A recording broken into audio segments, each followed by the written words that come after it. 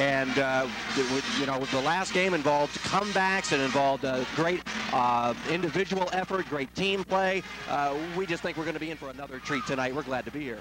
When we did the first game over at Uniontown mid in mid-January, the feeling coming out of that ball game that Uniontown, I mean, excuse me, Laurel Highlands was the better basketball team. Since that time, though, without a doubt in anybody's mind, the Red Raiders have worked their way back to the number one team in the WPIAL. A serious thumping of Pittsburgh Central Catholic last a week ago Friday night without a doubt in anybody's mind, I think Uniontown right now playing better basketball. You never underestimate the power of momentum, especially when you're talking about the young athletes like these high school students we have out here right now. And there's no doubt Uniontown, uh, they are on a definite roll. You mentioned the game against Central Catholic, of course, uh, a, a, big win against Connellsville a couple yeah. weeks back, and and really since the uh, Laurel Highlands loss, they have been on a roll. Exactly, they have been unstoppable. And Laurel Highlands, meanwhile, has struggled a bit. They lost on, uh, as we mentioned uh, during the girls' game moments ago, they lost on this floor to Albert Gallatin. Uh, a couple of weeks back, and that seemed to start them into a little bit of a, a lull. And I say lull, uh, not like they played horrible, but a couple of non-section uh, losses, including Woodland one to Woodland Hills. They lost to Connellsville, of course, earlier this week. Uh, they're struggling, but you know, Joe, the great thing about a rivalry like this is sometimes you just throw that all out you the window. You find it in a hurry. Exactly. You find it. The first game down at Uniontown area, we talked a lot about defensive pressure and being able to handle it. And Laurel Highlands come up so huge that night. Craig Radcliffe uh, off uh, at the point ran the show extremely well. Great play from A.J. Swintoski. And uh, Mark Hicks uh, stepped his game big time.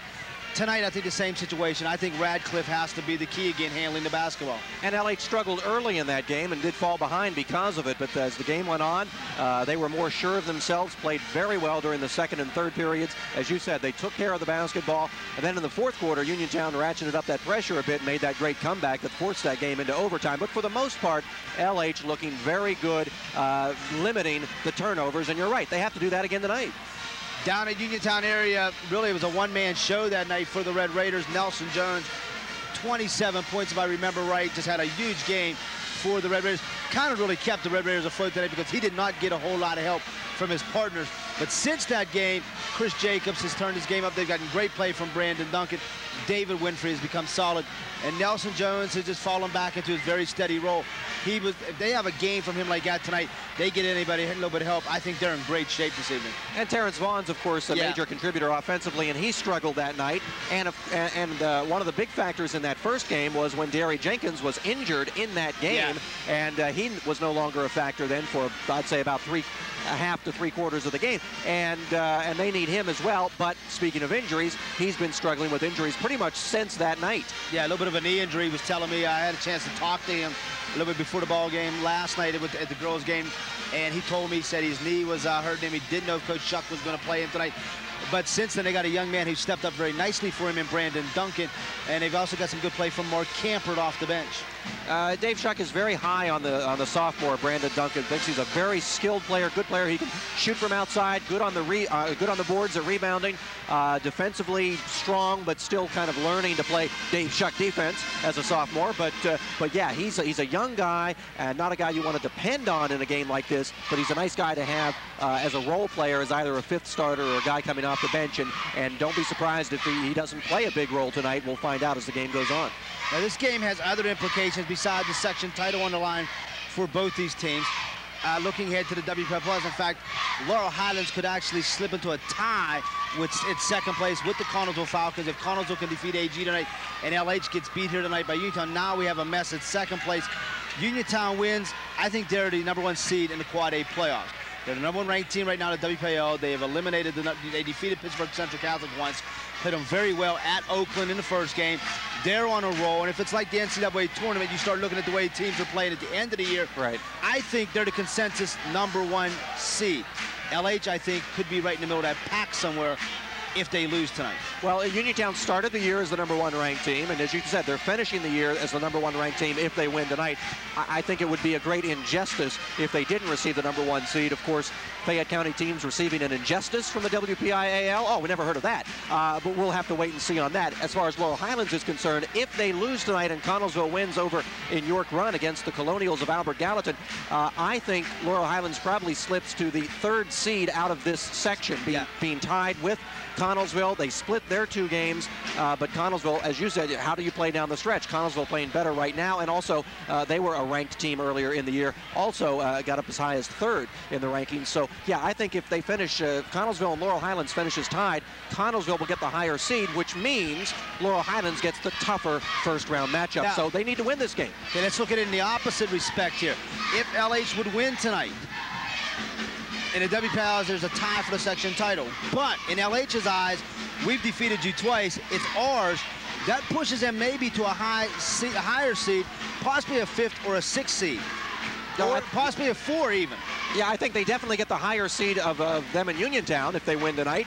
Uh, and, and the question is, of the section champs, you know, where would they be? Uh, yeah, I think fourth, maybe maybe third. If you're looking at Uniontown as the top dog right now, if LH knocks them off tonight, they've swept them. Yeah. Uh, they're not going to be the number one seed, but they've got to be way up there. And again, then Uniontown gets a tougher first round matchup. So you're right. If you're thinking of the WPIAL playoffs, uh, that just adds to the Yeah, importance of you think about game. it. This is almost like one of them games where you can go from being very high seeded to being right in the middle of the pack. Right. And honestly, if you think about it, here's three, two basketball teams, LH and Uniontown.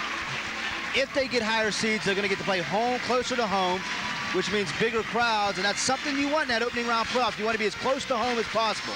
Plus, you need to win. Well, you don't need to win with the expanded playoffs this year. Ten teams now go into the state tournament from the WPIAL. So two teams that lose in the first round will still advance. But to guarantee yourself a spot in the state tournament, you need to win that first round game. So if you're looking at it, especially from Laurel Highlands standpoint, uh, you don't want to drop down and have to play one of the uh, other section champions. Which, if LH goes in as the number three team out of this section, they probably have to go up against uh, some section champion. They could find themselves not qualifying for the And, state and right tournament. now, you're looking at section champions. Um, Pittsburgh Central Catholic is one of them. Montour and Chartiers Valley will play Monday night after the tragedy in Montour. The Spartans come up with a huge win last night. Congratulations to them. A very gut-wrenching, but they went down Upper St. Clair, did what they had to do. Right. A great job by the Montour Spartans. And um, they are sitting pretty if they defeat Chartiers Valley. So there's two very good basketball teams there. LH, I think, both these teams, I think, stack up very well with those teams. So it's not as desperate as it looks because I don't think Quad A overall, top to bottom, is as strong as it has been in the past. I think really and honestly, I told some people this, and don't take me wrong, if Uniontown comes to play, in my mind, it becomes the Uniontown Invitational. I think they're the team to beat if they play the kind of defense Dave Shuck wants them to play, and if they can shoot from the outside with Bonds and Jenkins, assuming that he's healthy. Uh, if they can hit from the outside, and Nelson Jones, of course, doing what he can do inside and outside, yeah, I think Uniontown's the team to beat in the WPIAL. But the great thing about playoff basketball, when you talk about high school kids, is you never know. And uh, I remember last year when a Schenley powerhouse team came in, and everybody said they were the team to beat. And who, who beat them in the first round? And the Utah Red Raiders That's knocked them out. right. You know, actually, this is no, I, I seriously think this. Last year, going into the Western Regionals, everybody talked about Erie Cathedral Prep and Schenley, and nobody mentioned the Utah Red Raiders. Seriously, if I thought about it, I was talking to some people today. The only team I think, honestly, and if Uniontown is playing, and that's all things equal, Uniontown's playing well, the only team in the whole entire Western Regional that I would be really concerned with them going in and playing is Schenley in the state playoffs. Well, and, uh, and we'll, we'll have to see, of course, when that comes about. Could be getting ahead of ourselves a little bit, but it wouldn't surprise me if we don't see them uh, matched up in the state playoffs. Of course, uh, uh, uh, they won't meet until uh, they, won't meet until well yeah. into then. Now, uh, as, as far as again, as far as this game goes, though, Laurel Highlands, Uniontown, Yeah. you wonder how much of that they're even going to think about those players out on the floor. Uh, we think about it, the coaches it. think about it. Exactly. The players, all they're thinking about is, I, I, I live next to these guys, I play these guys all year long, and I want bragging rights for the spring, the summer, and the fall. For LH, uh, I tell you what, a W here tonight, they get big bragging rights. Yeah. They've beaten them twice in a, twice in um, one year. But the 76 meeting between the Laurel Highlands Mustangs and the Uniontown Red Raiders about ready to be played out up here at Laurel Highlands Senior High School. Uh, a small crowd on hand. and we're About- right, we're right in the middle of it. We've had We're- little skirmishes early here. And We're, we're sitting down right now because we know once this game starts, we're going to have to stand up or we're not going to see anything. We're right in the middle of the crowd, and right now all I see are the back of people's heads. but uh, it should be a good one. Coming up next, it's the showdown for the section. The Class 4A Section 2 title on the line tonight at Laurel Highlands. It's the Mustangs and the Red Raiders. It's the 76th meeting. And you know what? That's all you have to say. Coming up next, it's LH in Uniontown.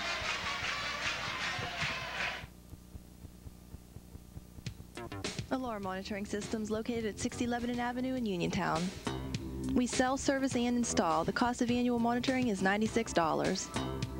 Our own 24-hour local central station offers monitoring of security systems and 24-hour emergency repair service.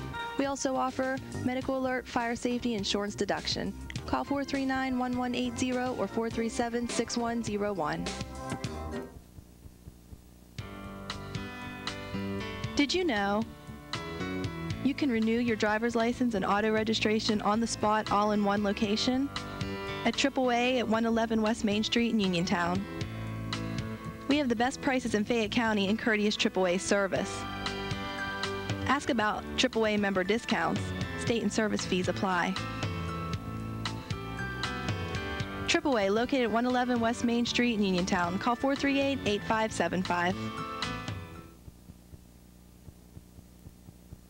For almost 25 years, Davis & Davis has been providing legal help for local people involved in accidents, trip and fall, defective products, drunk driving victims.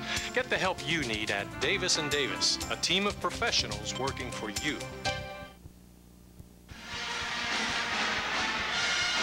Okay, we welcome you back to Laurel Highlands Senior High School for tonight's matchup between the Red Raiders of Uniontown and the Mustangs of Laurel Highlands. At, at stake tonight, the WPIAL Class Section 2 Quad A Championship.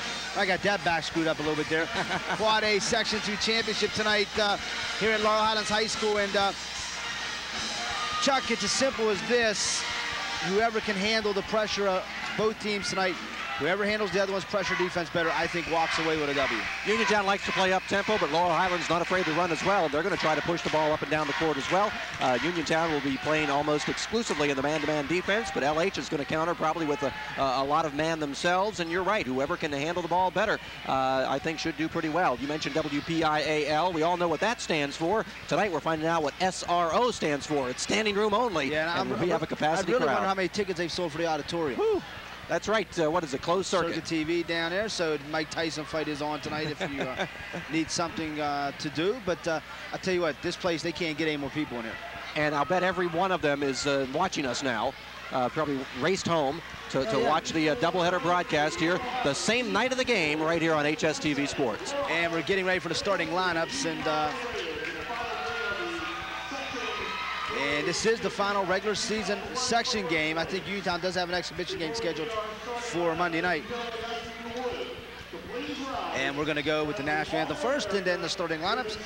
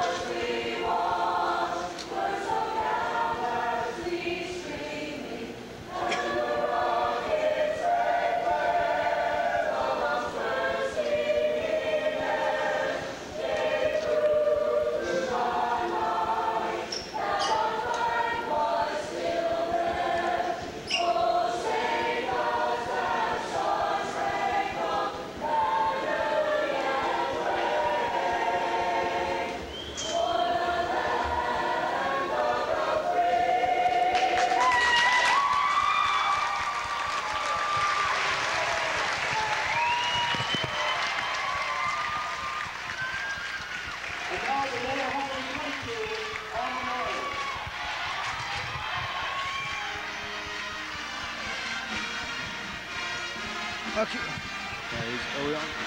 Okay, as Laurel Highlands alma mater now being sang, did a great job with the national anthem by the Laurel Highlands uh, choir as the alma mater now being played. And I'll tell you what, Chuck,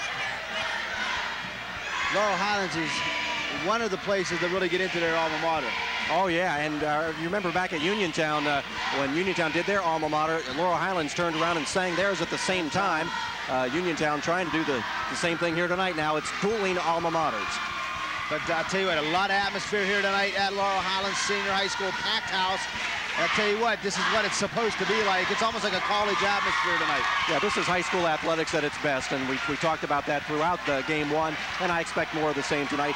A great uh, uh, group of fans on both sides. Uh, they're here to cheer on their team, and they're here to support their school. You see that on both sides. A great tradition to this rivalry that dates back over 30 years, and and, and uh, uh, you know th this is this is what this is what these kids work for all year long. This is what they count down to. This is the most important game of their season uh, until the playoffs start, but, and maybe even beyond Yeah. that. Four of the five starting last starters are definitely known for Uniontown. It should be Jacobs, Vaughns, Jones, and Winfrey. The fifth starter will either be Dier Jenkins or Brandon Duncan. And it will be Brandon Duncan, so that will be the fifth starter for the Uniontown area Red Raiders tonight. Duncan was in the, inserted into the lineup when Dier Jenkins injured himself over in the first LH game. Brandon Duncan, a 6'2 uh, sophomore forward, and again, he'll uh, hurt you from the outside, and uh, very good, very strong on the boards as well, and uh, he'll play a key role tonight. Uh, it'll be interesting to see how much, uh, how much PT Deary Jenkins gets as the night goes on. Well, I think Coach Shuck would like to start getting him back in because he's going to need him, I think, in the playoffs. He's going to need him tonight. Yeah, he may need him. But you know what? As important as this basketball game is, Uniontown can still walk out here no matter what happens with at least a share of the section title, which would be their 38th. which is remarkable. And uh, uh, and uh, we mentioned this uh, again moments ago at the end of the girls' game, but that is the most. Their 37 is the most in the WPIAL. They're definitely going to make it 38, whether they do so as co-champions or, as exclusive outright. champions. Yeah. But uh, and a new banner in the gym now is a decade is a um, Century of excellence, yeah. and with the four state titles, the 38 now they have to add another section title to it, and I believe it's like 40 some 47 WPIAL playoff appearances. Right, which they've already uh, already clinched, of course, number 48 there, and uh, they may be able to add to those uh, Old State titles too as the as the time goes on. But meanwhile, uh, you're watching the Laurel Highlands Mustangs starting lineup come out, and let's You know not what? forget there's two teams this, out there. I don't think this is their starting lineup. I think they're introducing everybody tonight. yes, they are. And they're introducing everybody tonight. So LH is going to introduce everybody and then go with the starting fives. A little emotional ploy there by head coach Mark I John. so too. And I think what it does is it lengthens his ball game at the start of the ball game a little bit longer, makes Uniontown think a little bit more up here. Well, These are two of the best coaches around, too. When you talk about Mark John and Dave Shuck, they've been in this business for a long time. They know how to motivate young people. They know how to coach young people. They know how to teach young people. They're good people, and they're good coaches. Well, Mark John will play mind games with you in his gymnasium. You know, he will play mind games without a doubt. And this is just a little one that he's playing against his crosstown rivals, the Uniontown Red Raiders. But uh, Laurel Highlands has not been in the playoff picture the last couple years. And so for some of these guys, or for most of these guys, it's a new experience. Yeah, and last year, of course, they had high hopes going into last year, and uh, Dan Bosnick got hurt, and it kind of took the uh, wind out of their sails right for the entire Came season. down to the last game over in Uniontown. Exactly. Now this year, uh, they perhaps weren't as highly regarded. I think a lot of people thought they'd finish third in the section. They surprised a lot of people with that win against Connellsville earlier this year, and uh, and then they really opened up a lot of eyes when they defeated Uniontown. It's been a fantastic year for both of these teams, and tonight it's going to uh, the, success of this season is just going to be ratcheted up another notch for either Uniontown or Laurel Highlands. So the starting five for the Mustangs tonight, it'll be Radcliffe, Hicks, Swintoski, Mahoney, and Force. As a case of the coughs come through and as the Mustangs meet in the middle of the floor, a packed house, as always. when the Mustangs and the Red Raiders, I'll tell you what, at 6 o'clock when they tipped the JV game off, this place was three quarters of the way full. And Uniontown, of course, uh, congratulations to the Red Raiders as they pick up the victory, by the way, in the uh, JV game. And, Yep. uh, but this is the one that counts, and this is what it's all about. Uniontown just one loss in the section on the year. That was at home to Laurel Highlands. LH, uh, they come in 10 and 1. LH comes in at 9 and 2, having lost on their home court to Albert Gallatin, and earlier this week at Connellsville. And tonight we find out who the section champs are. Well, and you know what, Chuck? We could take it away again first quarter to get us started here. As the Mustangs and Raiders meet in the the floor, the Raiders in the maroon uniforms, white trim, the Mustangs in the white uniforms with the blue and red trims, in case nobody knows the school colors. And as soon as the final buzzer went off in the first game, I've been looking forward to this rematch, ready to go. And Nelson Jones and Nathan Force will jump center and get this thing underway. Force controls the tip. Riley gets the ball, and the Mustangs get the opening possession of the game. Uniontown in the man-to-man. Nice deflection there, and the uh, loose ball is picked up by Force. That's no good. Second opportunity, no good by Mahoney. Ball chased down in the corner, and the Mustangs retain possession. Now we'll get the long three, and that is no good. Air ball put up by Swintoski. Nelson Jones there, and back come the Raiders. Duncan loses the ball. And we get a wild scramble as things go uh, a little crazy here right off the top, but Uniontown wouldn't mind that. To it, LH got a couple good looks at the basket early there. And Uniontown, it's man-to-man. Now Hicks, dribble drive baseline, gets the roll. And the first two of the night go to the Mustangs. They take a two-zip lead. He's the slasher. He's the kid that can put it on the floor and go to glass. And they're going to have to have an answer for him. Winfrey tries to get it to Vaughns. That doesn't work. Ball is stolen by the Mustangs. And one minute into the game, the Mustangs will try to add to their lead. Again, Swintoski for three. That's strong. And the rebound by Duncan. Raiders looking to run. Here's Nelson Jones. And he draws contact. That's on Radcliffe. First foul of the night goes to Craig Radcliffe.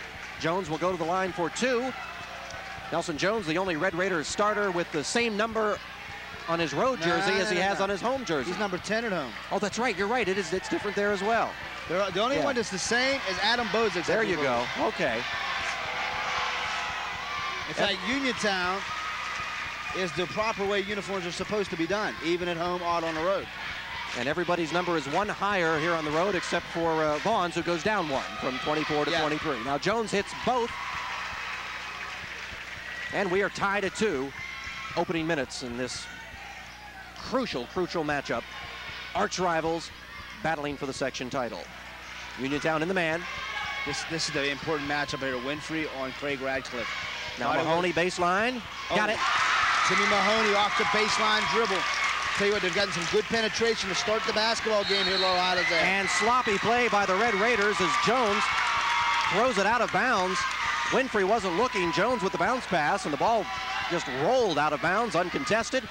And the Mustangs with a chance to add to their lead.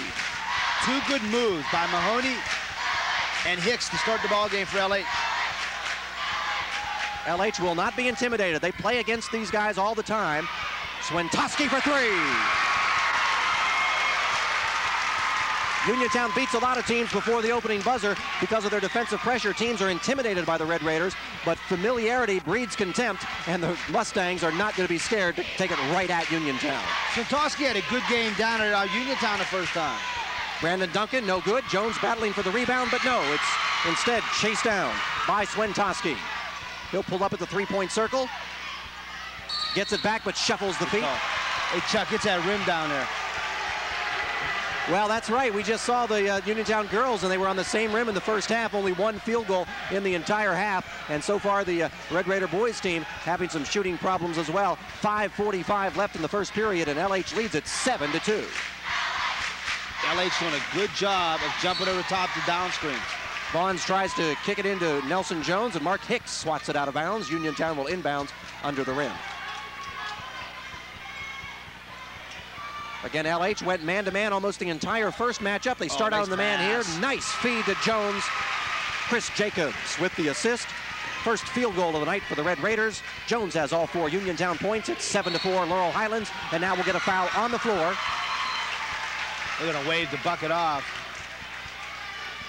Mahoney on the drive, but the foul is called, I believe, on Terrence Vaughns, and that will be his first, first team foul on the Red Raiders. 7 to 4, Mustangs. Lead by a three. Almost throwing it away, but Mahoney will be able to chase it down. And you can go to the backcourt and retrieve the inbounds pass. Now Swintoski, checked by Duncan. Brandon Duncan, good pressure defense on Swintoski. Oh, Near steal by Winfrey. Now on the dribble drive, Radcliffe, no good. Second shot, no good. Duncan with the rebound. And he throws it away. Another Red Raider turnover. Uniontown needs to just settle in a little bit here. You know, you like you said, the pressure may be on Uniontown here a little bit tonight. Official timeout as Nathan Force will lace up the footwear. 5.06 in the first period. Laurel Highlands off to a quick start. Ran out to a 7-2 lead. Now it's 7-4. Here's Swintoski from the elbow. That's no good.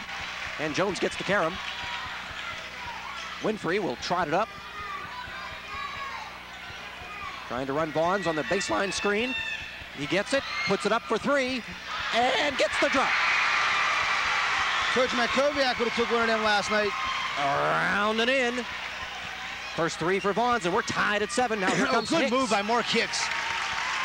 Draws contact, he'll go to the line for two. We'll call this one on Nelson Jones, his first foul. Second team foul on the Raiders, 441 in the first period. We're tied at seven, and Mark Hicks will take the Mustangs' first free throws of the night. Mark Hicks finding a way to get to the basket right now and get himself to the foul line. Remember, LH did not shoot free throws particularly well down at Uniontown. Amazing they were able to win that game in spite of their free throw troubles. That game never should have We had him gone into like overtime. We had him for like 11 of 28 now. Something along those lines. That's what kept Uniontown in the game. Hicks makes the first and Hicks makes the second. We're at nine to seven. Mustangs with a two-point lead. Raiders with the basketball. Stayed in there man to man. Winfrey up top. That's Vaughn. Winfrey. Uniontown doesn't want Winfrey taking that outside shot. They need to get a little bit of penetration there. The guards need to step in. Somebody needs to make a move to the basket. Winfrey, the classic point guard. This is what he can do. Penetrates. Shot no good, but Duncan on the follow.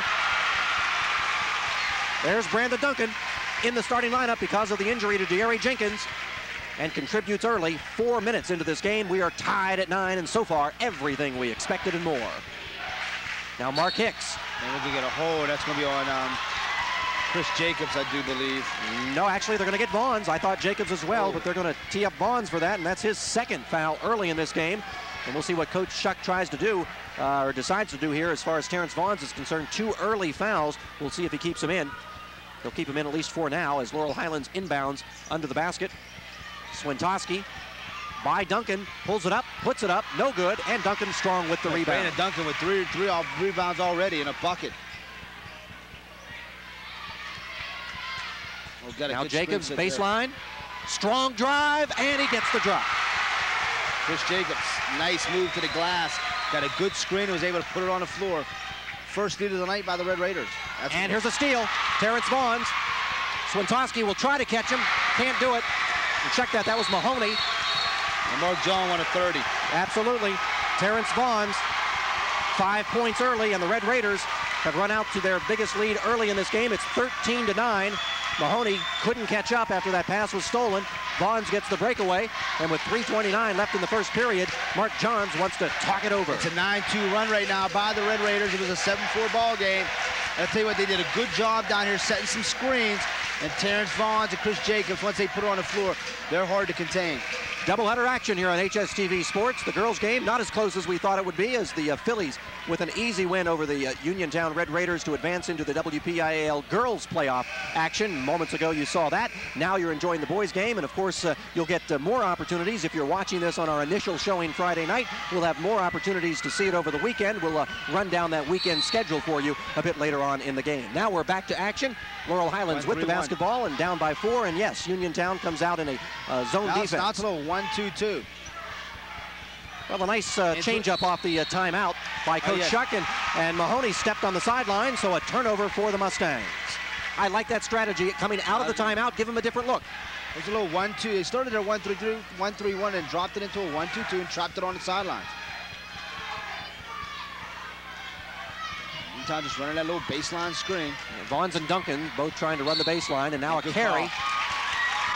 Starting to see that. David had the Allen Iverson going. WPIAL said they were going to call that carry more uh, in the PIAA this year. We didn't see it early in the year, but lately we've started to see that carry called more. No doubt that uh, Winfrey turned it over. So three minutes left in the first quarter. Mustangs will try to narrow that four-point deficit. Here's Hicks baseline, some contact, no call. Shot doesn't go, and Jones with the rebound. Back on the Raiders. Winfrey up top. Again, Vaughns and Duncan Duncan will be the shooters in this uh, lineup. And there is Duncan for three.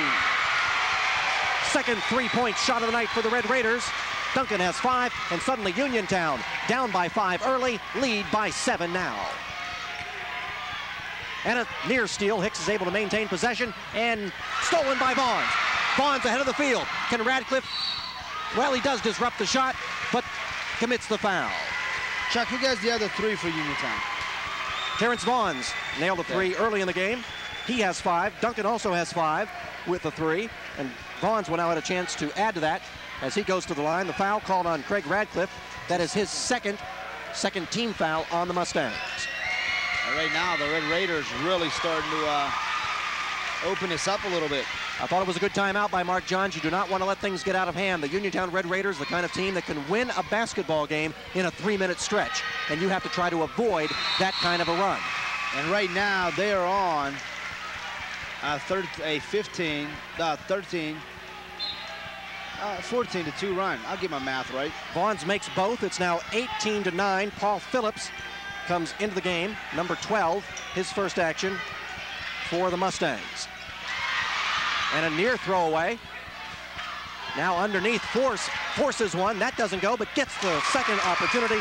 And he puts it up and in for his first field goal of the night. It's 11 to 18 now. And a steal. Back come the Mustangs. They're going to try to run. There's Force. Contact. He'll go to the line. And the Mustangs answer. Well, so far it's up and down, but I think if it's at this pace, Uniontown's advantage. That foul will be called on Winfrey. That's his first. Fourth team foul. And Nathan Force will go to the line, looking for his third and fourth points right now. Nathan Force, a 6'5 junior in his third year as being a contributor to this Mustang team. And what a fine football player he's been as well for Laurel Highlands over the past few years. He makes the first. Tell you what, he had a big game down at Uniontown. That was just like his first game really back in action. Force and Hicks combined for, I believe, 39 points inside, and that was the difference for the Mustangs when they pulled off that big victory. Well, now, Force makes a five. Force makes both. It's 18 to 13, four points on the night for Nathan.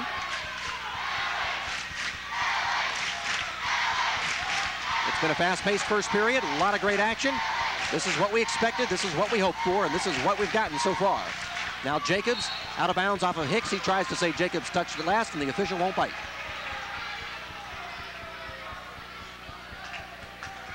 David Winfrey right now. Uniontown's uh, settled in very nicely. See if LH has withstanded the um, the run there though. They've done nice. They did a nice job. See if they can get themselves back in it. They've cut it to five. Winfrey thought about the drive. Phillips cutting him off. Now trying to hit Vaughn, cutting through the lane. Couldn't handle the pass. Force picks it up, and back come the Mustangs. What we a game at Uniontown was a game of runs, and right now that's what we're getting here. Miscommunication as uh, Force and Phillips not on the same wavelength. Phillips stopped just as uh, I said Force, uh, check that, uh, obviously Radcliffe, just as Radcliffe delivered that bounce pass. It goes out of bounds. The Mustangs turn it over. Now the Raiders try to extend their five-point lead. And yeah, we're going to get a bump on Riley. Or Phillips, excuse me. And that's going to be 13 fouls. David Winfrey tried to go around him. And Gatus, Kevin Gatus is now going to come into the ball game. You get the sense that David Winfrey thinks he can take uh, Paul Phillips. Uh, ever since Phillips entered the game, Winfrey has been looking for the drive.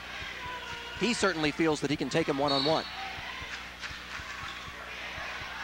Inbounds underneath to Jacobs. Doesn't go down. He'll go to the line for two. Oh, tantalizing on the rim, but it would not drop. Chris Jacobs will shoot a pair of Gatus. Didn't waste long to get his foul. Yeah, right into the game. Picks up a foul. Four fouls aside now as far as the team foul situation is concerned. 114 left in the first period. Uniontown as a team now five for five from the free throw line here in the first period as Jacobs hits that one. It's a six-point Red Raider lead.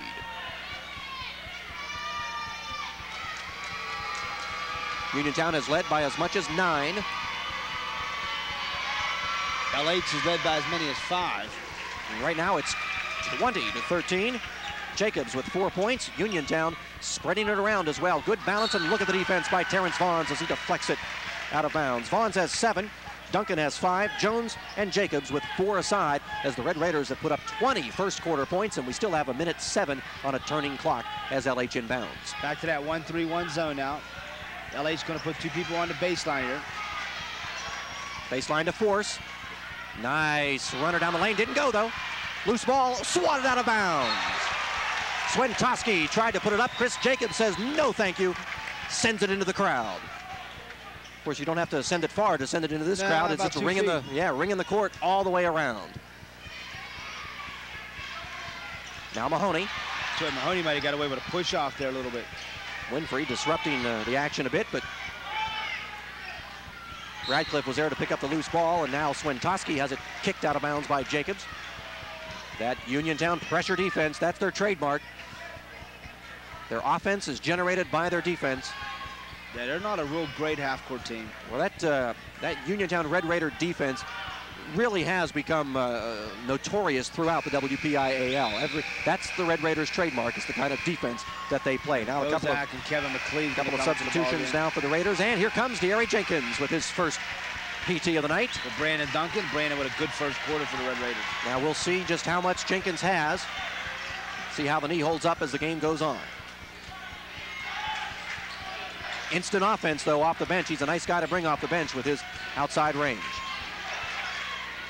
Right now it's the Mustangs, though. And there's Mahoney off the pump fake. Gets it to force inside. He gets the crawl. Good pass by Mahoney into the post. Um, Six points for Force. Force. 26 seconds left in the first period. Uniontown up by five. Will they hold for one? Not giving any indication that they will. Vaughns, Jones, baseline jumper. That's no good. And Force with the rebound contact. The foul will be called on McLeod. You know what? I don't know about that one.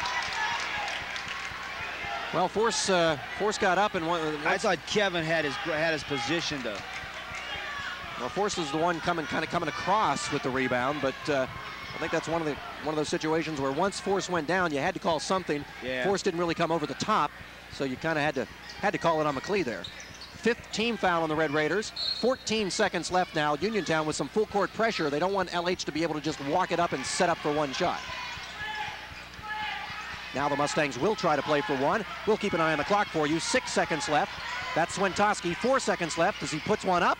Can't get the roll. McLeod gets the rebound as time runs out, and that ends a very entertaining first period of play.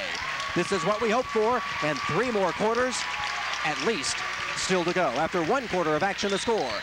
The visiting Uniontown Red Raiders 20. The homestanding Laurel Highlands Mustangs 15. We're right back with second quarter action after this.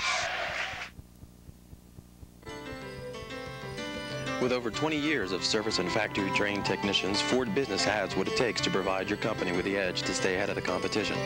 As an authorized Gestetner dealer, we can offer a digital solution that will fit your budget. Isn't it time to join the digital revolution? Ford also offers complete network installation computers and servers, as well as printers and fax machines. For professional service you can depend on, call Ford Business Machines. Real people, real solutions.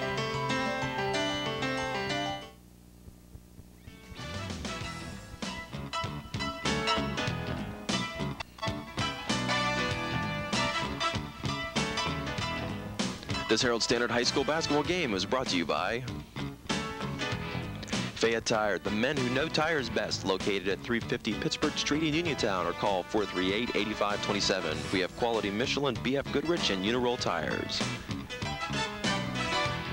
Teletech is a worldwide leader in customer relationship management, utilizing the latest in telephone, email, and internet technologies to provide support for Fortune 500 companies. Centennial Chevrolet Dodge, located on Route 51 North Uniontown, dealing in new and used cars and trucks. Call 438-2577. Nationwide Insurance, the Bill Doman Agency at three locations. See Bill at Suite 116 Oliver Square, Uniontown, or 102 North Liberty Street, Perry, or call 785-6946 for Brownsville. Exxon, located Route 40 and 21 Tobacco Junction. Incredible cigarette deals. Our deals are smoking. Full service available. Get gasoline in a Zoom. Pay with Express Pay. Exxon, the best way to get there. Who provides the best service supply for your circuit troubled copier? That answer is a slam dunk. Just call the office heroes at Best Copier Company at 439-2378. Best Copier Company Incorporation, an affiliate of Brothers Laser Service. So along with Joseph Hope, This is HSTV Sports. Doubleheader action tonight as Uniontown battles Laurel Highlands. Girls and boys action. The girls game, of course, already completed. That was played Thursday evening as the uh, Fillies defeated the Uniontown Red Raiders to advance into the WPIAL playoffs and gain third place out of Section 2. Now on Friday night, it's boys action as the first place Uniontown Red Raiders battle the second place Laurel Highlands Mustangs. If Uniontown wins, they're undisputed section champs. If Laurel Highlands wins, there's a tie for the section title. And after one period of play, it's 20 to 15 Uniontown with the lead. And what a fantastic first quarter, Joe. All right, David Winfrey will handle the basketball, being watched by A.J. Swintoski, man-to-man, once again by LH. Nice baseline move. Jones thought about it, and they'll swing it back around. Good patience by the Red Raiders. Jenkins still in the ball game. Jacobs They'll dump it. Oh, nice pass. Good feed. Jacobs can't finish. Tapped up, won't go, and it's ripped down by Timmy Mahoney. Lead it ahead here. Radcliffe to the corner. Mahoney's baseline around Jacobs. Down to Hicks, and Hicks is going to be fouled, and he'll go to the line. Did they get it on Jenkins or Winfrey? Jenkins will pick up his first foul. You know, watching Nelson Jones on the other end couldn't get that tip to go down, but that can't help but remind you of the first game when Nelson Jones went up and slammed home two rebounds, uh, two of the most exciting plays of that evening.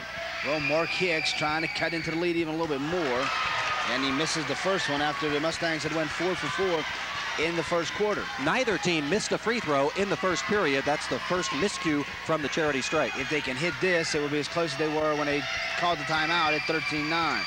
Mark misses on both. Rebound, Winfrey. And so hopefully that's not a prelude to the foul shooting problems that the Mustangs had at Uniontown. Winfrey holding the ball, and he'll go to De'Aaron Jenkins. His first shot since coming off the bench. De'Aaron Jenkins. He hasn't missed a beat. And a steal. Ball on the deck and jump ball, and now we're going to have to separate the scrum down here. Now that'll go to the Mustangs, and I'll tell you, if Brandon Duncan, who's about to re-enter the game, if Brandon Duncan can play solid for you as a starter, the luxury of bringing De'Aaron Jenkins off the bench and providing that kind of instant offense is just going to make Uniontown that much better. Jenkins only playing for a couple of minutes. He'll now take a seat, but what an impact he had right there with the three. So it's 23-15, original starting five back on the floor now for the Uniontown area Red Raiders. And Timmy Mahoney will inbounds. Get it to A.J. Swintoski, Uniontown man-to-man. Around Terrence Vaughns. They'll skip it all the way back out to Radcliffe. Inside they go. Nathan Force, great post move. Nathan Force with the drop step into the glass, into the um, into the paint, and he cuts it to six points at 23-17. Uniontown will do their damage from outside. Laurel Highlands uh, from inside. You just saw that with Force. Jones the Winfrey. Good patience. Duncan now for another three. Nope. Not going to go. There's a tap up by Jacobs. Rebounder. Mustangs want to run. They're two on two. Swintoski will hold up now. And a whistle and a foul. David Winfrey will pick up his second foul, and that is the seventh team foul on the Red Raiders. So Laurel Highlands now in the bonus. They'll go to the line uh, with the one and one. And what do we get? Yeah, one and one. David Winfrey will pick up his second foul as Chuck told you, seventh team foul. And to the line is A.J. Swintoski. On the other end, I thought Chris Jacobs might have been a better serve to try to pull down that offensive rebound and, and go back up with it instead of the tip. But again, uh, we don't have the perfect angle, and, and maybe that ball was just enough behind him that he didn't feel he could do that. And back to five at 23-18 off the Swintoski free throw. AJ's got another one coming now. A chance to get it to four. LH has creeped back in it from nine points down. Good job by the Mustangs as the Raiders went on that big run midway through the first period, but the Mustangs not going anywhere. They're making a statement. They're saying, be ready, Uniontown. We're here for the night. Winfrey around, good penetration, gets it to Vaughn. Terrence Vaughn will not go down, but there's Nelson Jones, and the ball will be knocked out of bounds by the Mustangs. Red Raiders putting up a lot of three-pointers. They've connected on three, but they've missed a pair uh, from beyond the arc on their last two possessions. Uh, they like to shoot that three, and their half-court offense is uh, uh credit uh, dictated a lot by trying to set people up for the threes. Winfrey's jumper badly missed. Rebound by Mark Hicks, and here comes the Mustangs with a chance if they hit a three to cut this to one point. Mahoney, pull-up jumper. They'll call it on the floor, so he will go to the foul line. And it looks like Brandon Duncan is going to pick up the foul. Eighth team foul now on the Uniontown Red Raiders. Uniontown wants to shoot the outside shot, but that doesn't mean they want Winfrey necessarily to shoot the shot. If you're the Mustangs, you'll let Winfrey shoot from 17 feet all night long. And Mahoney's free throw is down. And all of a sudden, the LH has creeped back into this. Mahoney now with three points on the night, and if he hits this free throw, the deficit will be three as the Mustangs, yes, indeed, getting right back into this 5.50 left in this first half. And he got them both, and we got ourselves a two-point ball game. So just when it looked like Union, three-point ball game, excuse me, just when it looked like Uniontown, it is a two-point ball game. I thought so. Scoreboard was late putting it up. They were late on the first free throw, yeah. Uh, so check that. It's 23-21. So uh, just when it looked like the Red Raiders were going to put this one out of reach, uh, the Mustangs have crawled back in. Santino Sloboda in the game now for the Mustangs. And it's turned over. You know, this has not been a spectacular run by the Mustangs. This has just been one of them workmanlike efforts to claw back in. And Uniontown, uh, and we talked about how they can go on a run. They can also go into offensive droughts as well, because sometimes they can struggle uh, half court, and if they don't force some turnovers, uh, they can go without points for a while, and right now we're seeing them in a bit of a lull. 1-3-1, they get it to Hicks. There's Mahoney, his jumper will not go as it goes across the rim. That would have put LH in the lead. And Uniontown will bring it back with David Winfrey. Once again, the Raiders will just run in baseline cuts. Nothing spectacular by Uniontown offensively. There's Winfrey again. David can't get it to go down. Ball's tapped out. And there's uh, Chris Jacobs. Good move. Jacobs got it to go, and he's fouled. Kevin McLeod gets a lot of credit on that as he kept that ball alive off of the Winfrey miss, allowing Jacobs to pick up the rebound. He makes a nice drive to the hoop, and he'll have a three-point opportunity for his efforts, but give Kevin McLeod a lot of credit there. And picking up the foul for Laurel Highlands, I believe was Nathan Force. Yes, his first foul of the night. Team fifth. Jacobs now with six on the night. We'll look for number seven. And Chris rolls it down and in. Sub coming for the Uniontown Red Raiders. And it's back now to a five-point ball game at 26-21. Uniontown, such a great free throw shooting team, and that's a strength of theirs. And as you go into the playoffs, of course, you have to be able to shoot from the free throw line, especially if you're trying to protect a late lead. Red Raiders seven for seven so far tonight from the stripe. De'Aaron Jenkins back into the ball game, tapped out right there. Comes in, replaces Terrence Vaughn. So it's a five-point ball game as Radcliffe will swing it around. Good skip. Radcliffe puts it on the floor, gets to the 10. Craig Radcliffe.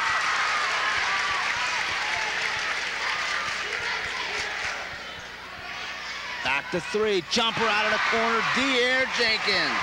Two shots, two threes, six points, and the Raiders lead by six. Instant offense. Chuck called it earlier.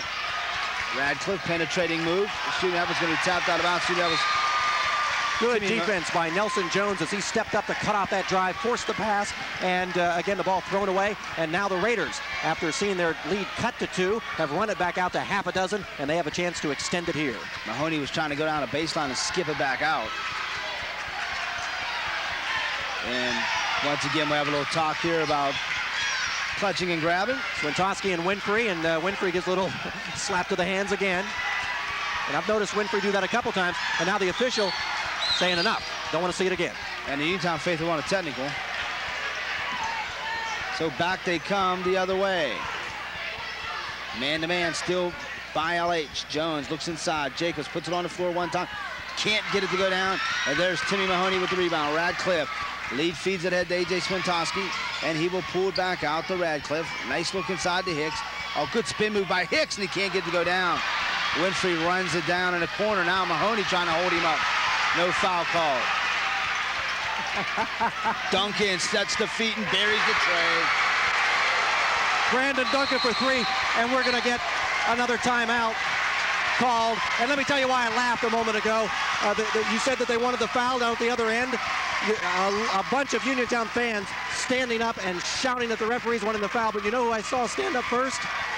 We just saw her a few moments ago. Annie Malkoviak was the uh, was the first person to jump up. She was yelling at the officials in the girls' game, and she's still yelling at the officials. But that's the intensity involved in this game. And now Brandon Duncan hits the three, and suddenly it's a nine-point Red Raider lead.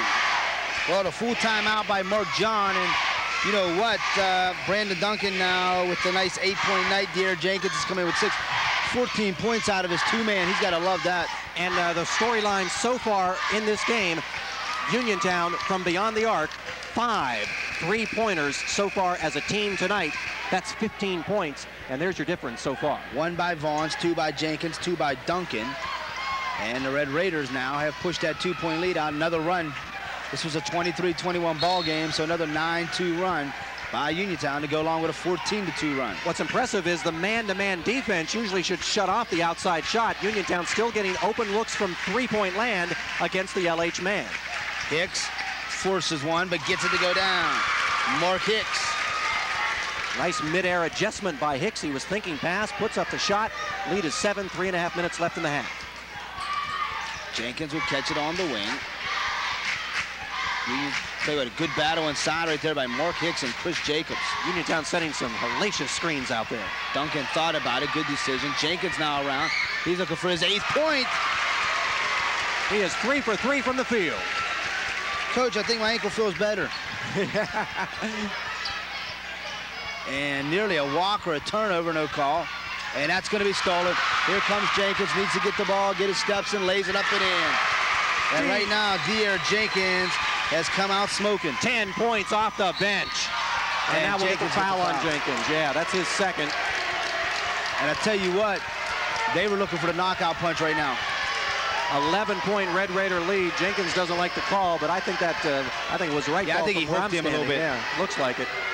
Ninth team foul, so we're still in the one and one. Vaughns will re-enter the game for Uniontown. Mark Johns is going to call uh, everybody uh, other than Mahoney over and have another word with him. He's already used both of his 30-second timeouts. And De'Aaron Jenkins gets a, a well rest here as he tries to play on a knee, make sure everything's all right. Timmy Mahoney with the first free throw, cuts it back to his 10-point ball game. And Terrence Vaughns, I do believe, has come back into the basketball game. Timmy can't get the second one. So it's a 10-point advantage with 2.44 left in period number two. And we get a foul. This may be on Mark Hicks. Mark Hicks and Chris Jacobs doing a little jockeying in the paint, and they're going to call Hicks. And that's the sixth team foul, and now head coach Dave Shuck wants to talk things over. Well, and I think what he wants to talk about here is don't do nothing stupid. Well, right now he's just uh, he's giving Brandon Duncan a, a, nice quiet lecture on the finer points of basketball. That's all. 2:39 left in the first half, and I really think, Joe, that we are entering a very important yeah. stretch of this basketball game. The rest of this half very important right now for the Laurel Highlands Mustangs. Yeah, because right now they're down 10. You're within striking distance. You're just a runaway. But uh, remember down at Uniontown, right there at the beginning of the second quarter, Uniontown had pushed, to, got the lead out to like eight or nine had a chance to push out, could not. LH stepped right in the ball game, was able to come back and win the game. Right now, you're at that crucial point again. You're up 10. If you're LH, you're like, we got to keep it under 10 here before we go in at half.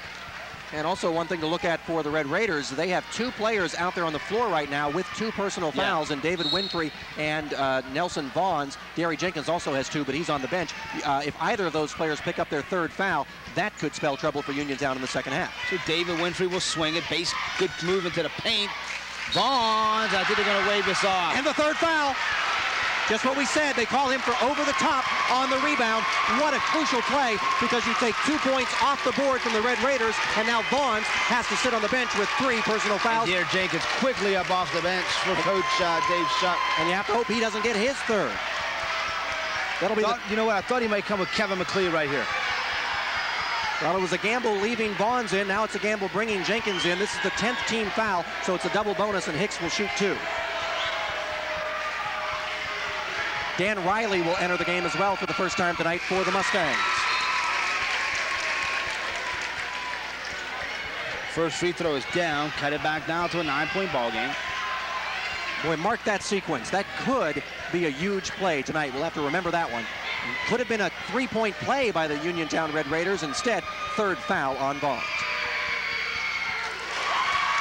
And Mark Hicks buries them both. And by the way, let me stress, when I say could have been a three-point play, it was the right call. He went over the top, and the official called it right. That was a loose ball foul on Vaughns. So back to an eight-point ball game at 219. See if Uniontown tries to use some floor here and run the clock a little bit. Good baseline move. We get a block, and that's going to be on, I believe, number 40. Dan Riley, who quickly checked in and picked up a foul here. And that'll send uh, Uniontown into the bonus. Actually, uh, Joe, they're going to call that on Radcliffe, and that is oh. his third foul. And once so, again, why you don't yeah. use Penn? Well, again, point guard, and uh, they they had. Uh, John, in this very crucial stretch, didn't want to go the final two minutes of the half without his point man. They're calling this, apparently this was a shooting foul. They're saying Jacobs was in the act of shooting, so he gets the second uh, free throw, even though he missed that one. Uh, but Radcliffe picking up his third foul, and I'll tell you what, he's, he, he's still out there, yeah. That's the first miss from the line tonight for the Red Raiders. Got the second one, and it's a 37-28 ball game. Back to nine. Oh, good move to the glass. Will not go. There's Mark Hicks keeping his feet. And the ball comes out, and the Raiders got numbers here, four on two if they hustle. Jones to the baseline. Can't get it to go down. And Chris Jacobs is going to be fouled. And that is going to be on number 23. That's on... No, he called it on 20. He called it on Craig Radcliffe. His fourth foul of the night. And he's going to leave Craig right now. I can't believe that. Wait a minute. Now the officials are going to talk. Yeah, I don't think so. I think that's on 23.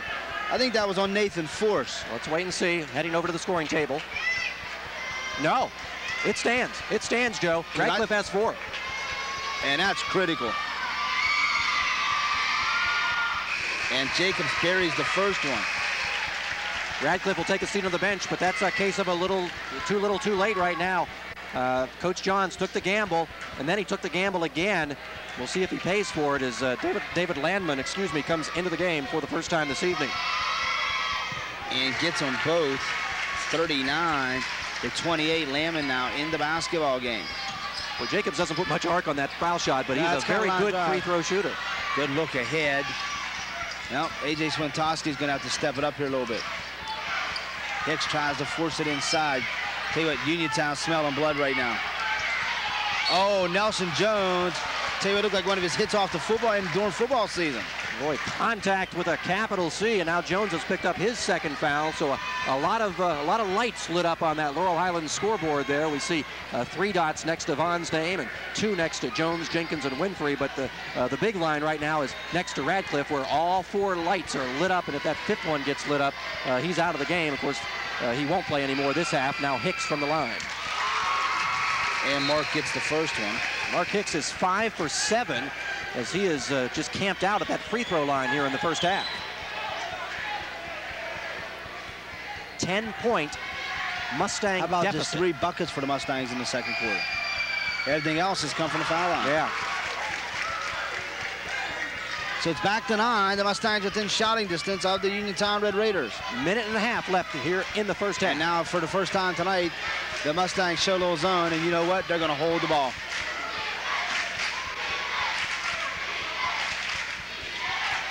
Coach Shuck's philosophy in a situation like this, when I have the lead, I'm going to make them come out and play me. I'll I'm not going to play their style of basketball. They're going to play my style. But he's got good shooters right now in the ball game. Good patience by Uniontown, making sure we got they got spacing. And they're going to stay back, Laurel Highlands is. Landman letting them know that Duncan going through to the corner. Jenkins says, Coach, I'm on fire, but he can't get to go down. And Kevin McLeod with a clean out. First miss from the field tonight for De'Aaron. No doubt that Kevin McLeod pushed off. And now Laurel Highlands once again will go to the line. The free throw shooting, of course, hurt them in game one, but their free throw shooting keeping them Somewhat in game alive two. tonight right now. Yeah.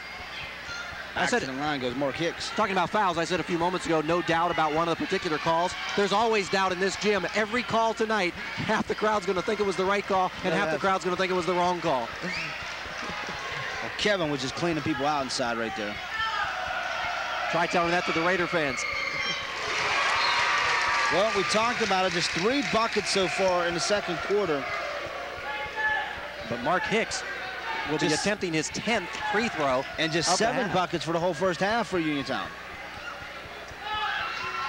Everything else has come from the charity strike. Seven, yeah, seven, uh, uh, seven twos, and then the one three. Three? Yeah, Swintoski hit the one three. Now a seven-point game. Hicks eight for 10 from the line.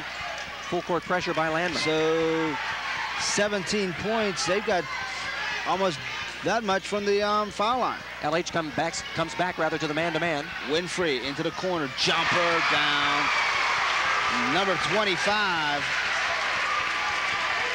Boy, how about Mark Camper hitting the three from the corner off the bench. Tell you what, Coach Shuck's got to be really pleased with his bench play tonight. Nice pass inside. Short jumper won't go. There's Nathan Force, and he gets called for a walk. And right now, Utah can push it back, push it out over 10 to possibly 12, 13 if they can hit a triple this trip. Mahoney comes back in for Laurel Highlands. Amazing. They go to the zone for the one uh, uh, defensive possession. Then right when they go back to the man-to-man, again, we say man-to-man, you shouldn't be able to hit threes. LH goes looks. back to the man, and Uniontown right away, uh, bingo, from the uh, three-ball corner pocket. Well, 14 seconds as we count it down, 10, as David Winfrey holds it. Eight, seven, Lammons got him. They go to Jacobs. Overplay by Hicks, back to Winfrey. Camper buries it. You talking about bench play. You talking about bench play. The Uniontown Red Raider bench in the first half. Jenkins and Camper combined 14, for 15, 15 10 15 for Jenkins, points. 5 for Camper. 15 points off the bench, and Laurel Highlands has a 12-point lead. They got nothing off their bench in the first game. So one half of play down here from Laurel Highlands High School, and right now it's all Uniontown. It's the Red Raiders 44, the Laurel Highlands Mustangs 32. If you've been injured at work, you need to protect your rights. Don't settle for less than what you deserve. Call the hometown attorneys at Davis & Davis for a free consultation. Davis & Davis, a team of professionals working for you. With over 20 years of service and factory trained technicians, Ford Business has what it takes to provide your company with the edge to stay ahead of the competition. As an authorized Gestetner dealer, we can offer a digital solution that will fit your budget. Isn't it time to join the digital revolution?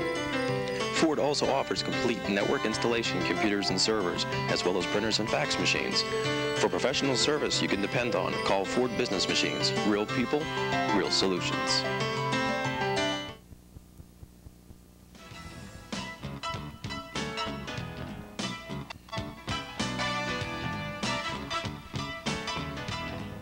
This Herald Standard High School basketball game is brought to you by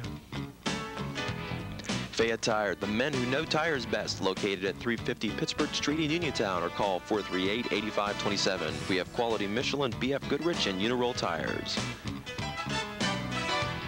Teletech is a worldwide leader in customer relationship management, utilizing the latest in telephone, email, and internet technologies to provide support for Fortune 500 companies. Centennial Chevrolet Dodge, located on Route 51 North Uniontown, dealing in new and used cars and trucks. Call 438-2577. Nationwide Insurance, the Bill Domit Agency at three locations. See Bill at Suite 116 Oliver Square, Uniontown, or 102 North Liberty Street, Perry, or call 785-6946 for Brownsville. Exxon, located Route 40 and 21 Tobacco Junction. Incredible cigarette deals. Our deals are smoking. Full service available. Get gasoline in a Zoom. Pay with Express Pay. Exxon, the best way to get there.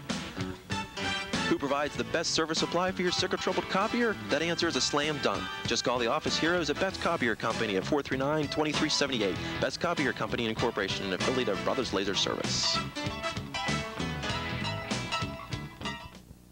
Right, as we come back to Laurel Highlands Senior High School, where the Uniontown Red Raiders lead the Mustangs of Laurel Highlands area 44-32. I'm Joseph Hoke along with Chuck Durso. And Chuck, the key to this ball game in the first half, Uniontown's bench giving them 15 points and shooting lights out.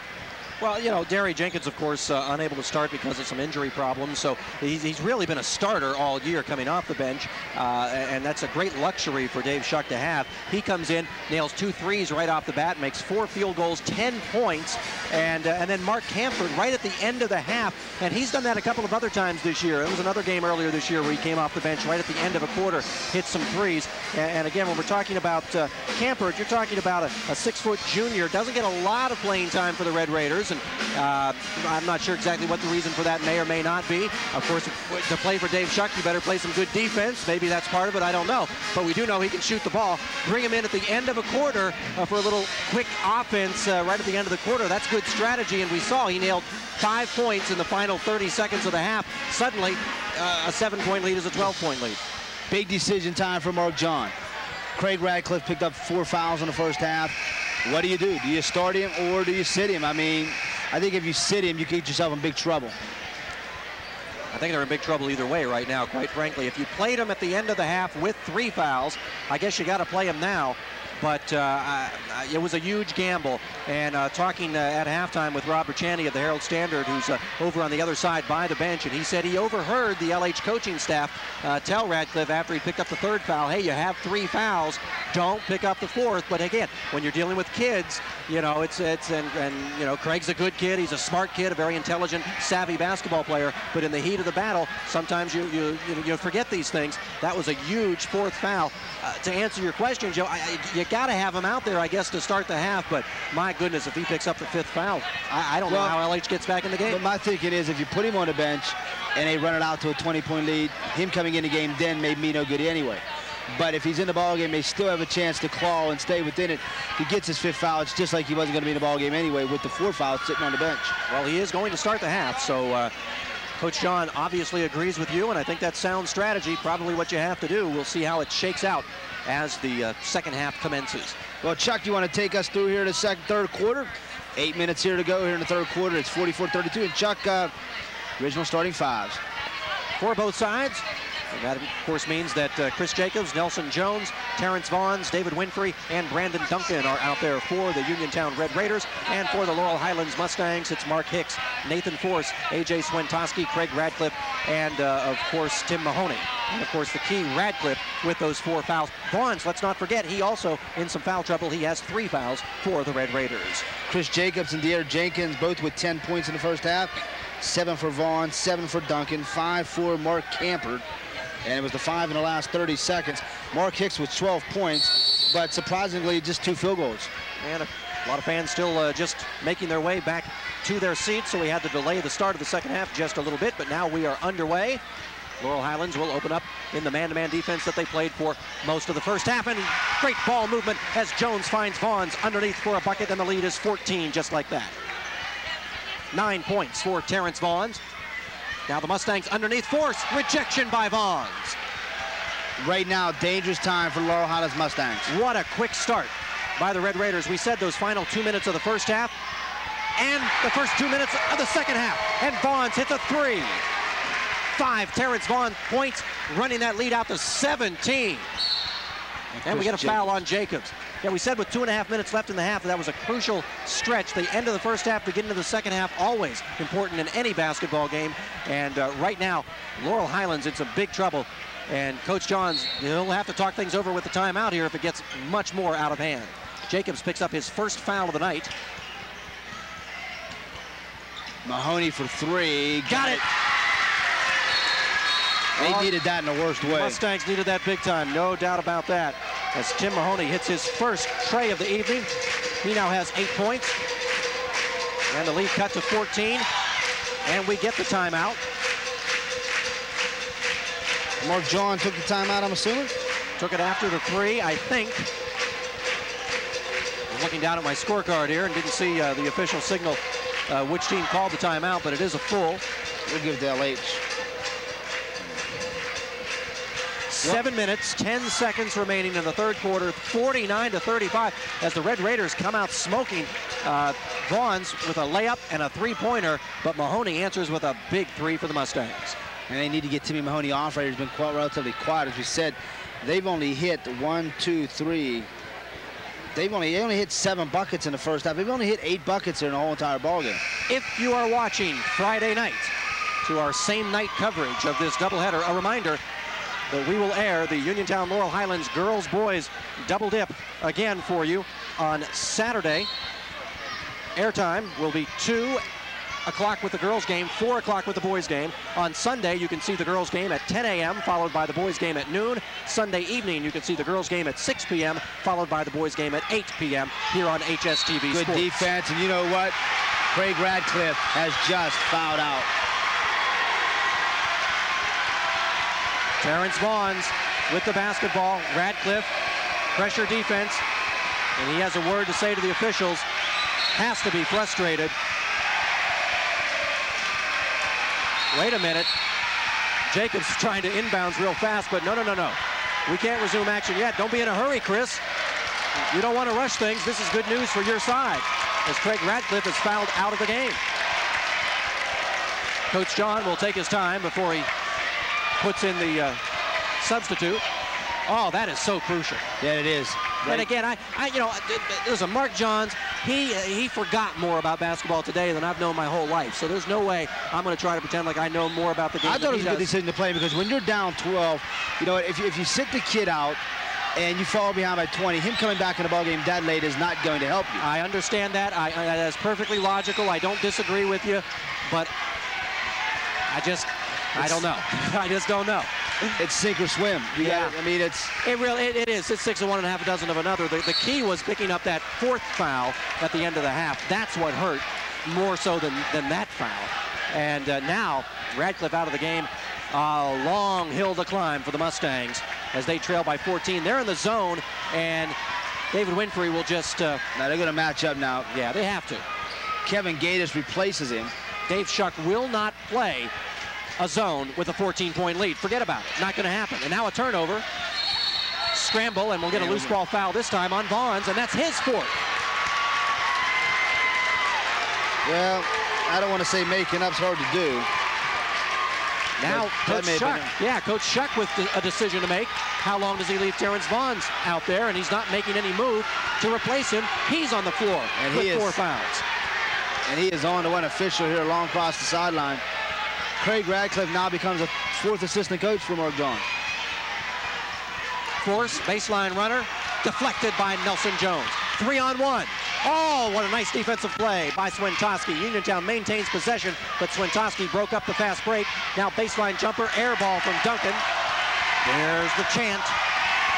And Mark Hicks, Good pass to Kevin Gatus. Got Gatus it. baseline. His first two of the night. And LH trails by 12. Well, this will make Mark Hicks and them pick up their ball game here. I think you gotta sit Terrence Vaughns down with a 12-point lead and four personal fouls. See, there's that's the decision you make when you're up by 12. Exactly. I think this is a huge gamble keeping him in the game. This ball will stay in Uniontown's possession as Mark Hicks knocks it out of bounds. See, there, there's the different scenario. Mark John was down 12, one of his better players. You're going to bring De'Aaron Jenkins in for Terrence Vaughns. Up 12 is not a bad choice. Some words between Jacobs and Hicks, and the officials step in right away. First, some of Jacobs' teammates as uh, Vaughn stepped in to separate David. Landman's going to come in the ball game now. Swintoski will take a seat. Tell you what, now you get a tough situation. You've got Radcliffe and Swintoski off the floor. And I'll tell you what, Mark John's on his horn is on Barry Rosner down here. Official talking now to uh, Jacobs. Had a few words with Hicks a few moments ago. Tensions starting to run high. And right now, Coach Shuck wants a 30-second timeout. And I think what Coach Shuck is explaining here is down here on the baseline what's going on. And I tell you what, this is the first time really we've seen Coach Shuck on animated, not at his kids, but more importantly at a situation. 30-second timeout by the Red Raiders. Shuck will use the 30 seconds to bark at the officials, while assistant coach Rich Bierbauer says a few words to the players. 5.44 left in the third, 49 to 37. Uniontown, Laurel Highlands, and it's picking up. Business picking up here, Joe. Yeah, it is a little bit. Uh, you wonder if Laurel Highlands has enough to come back. Uh, they're not going to quit here. Oh, absolutely not.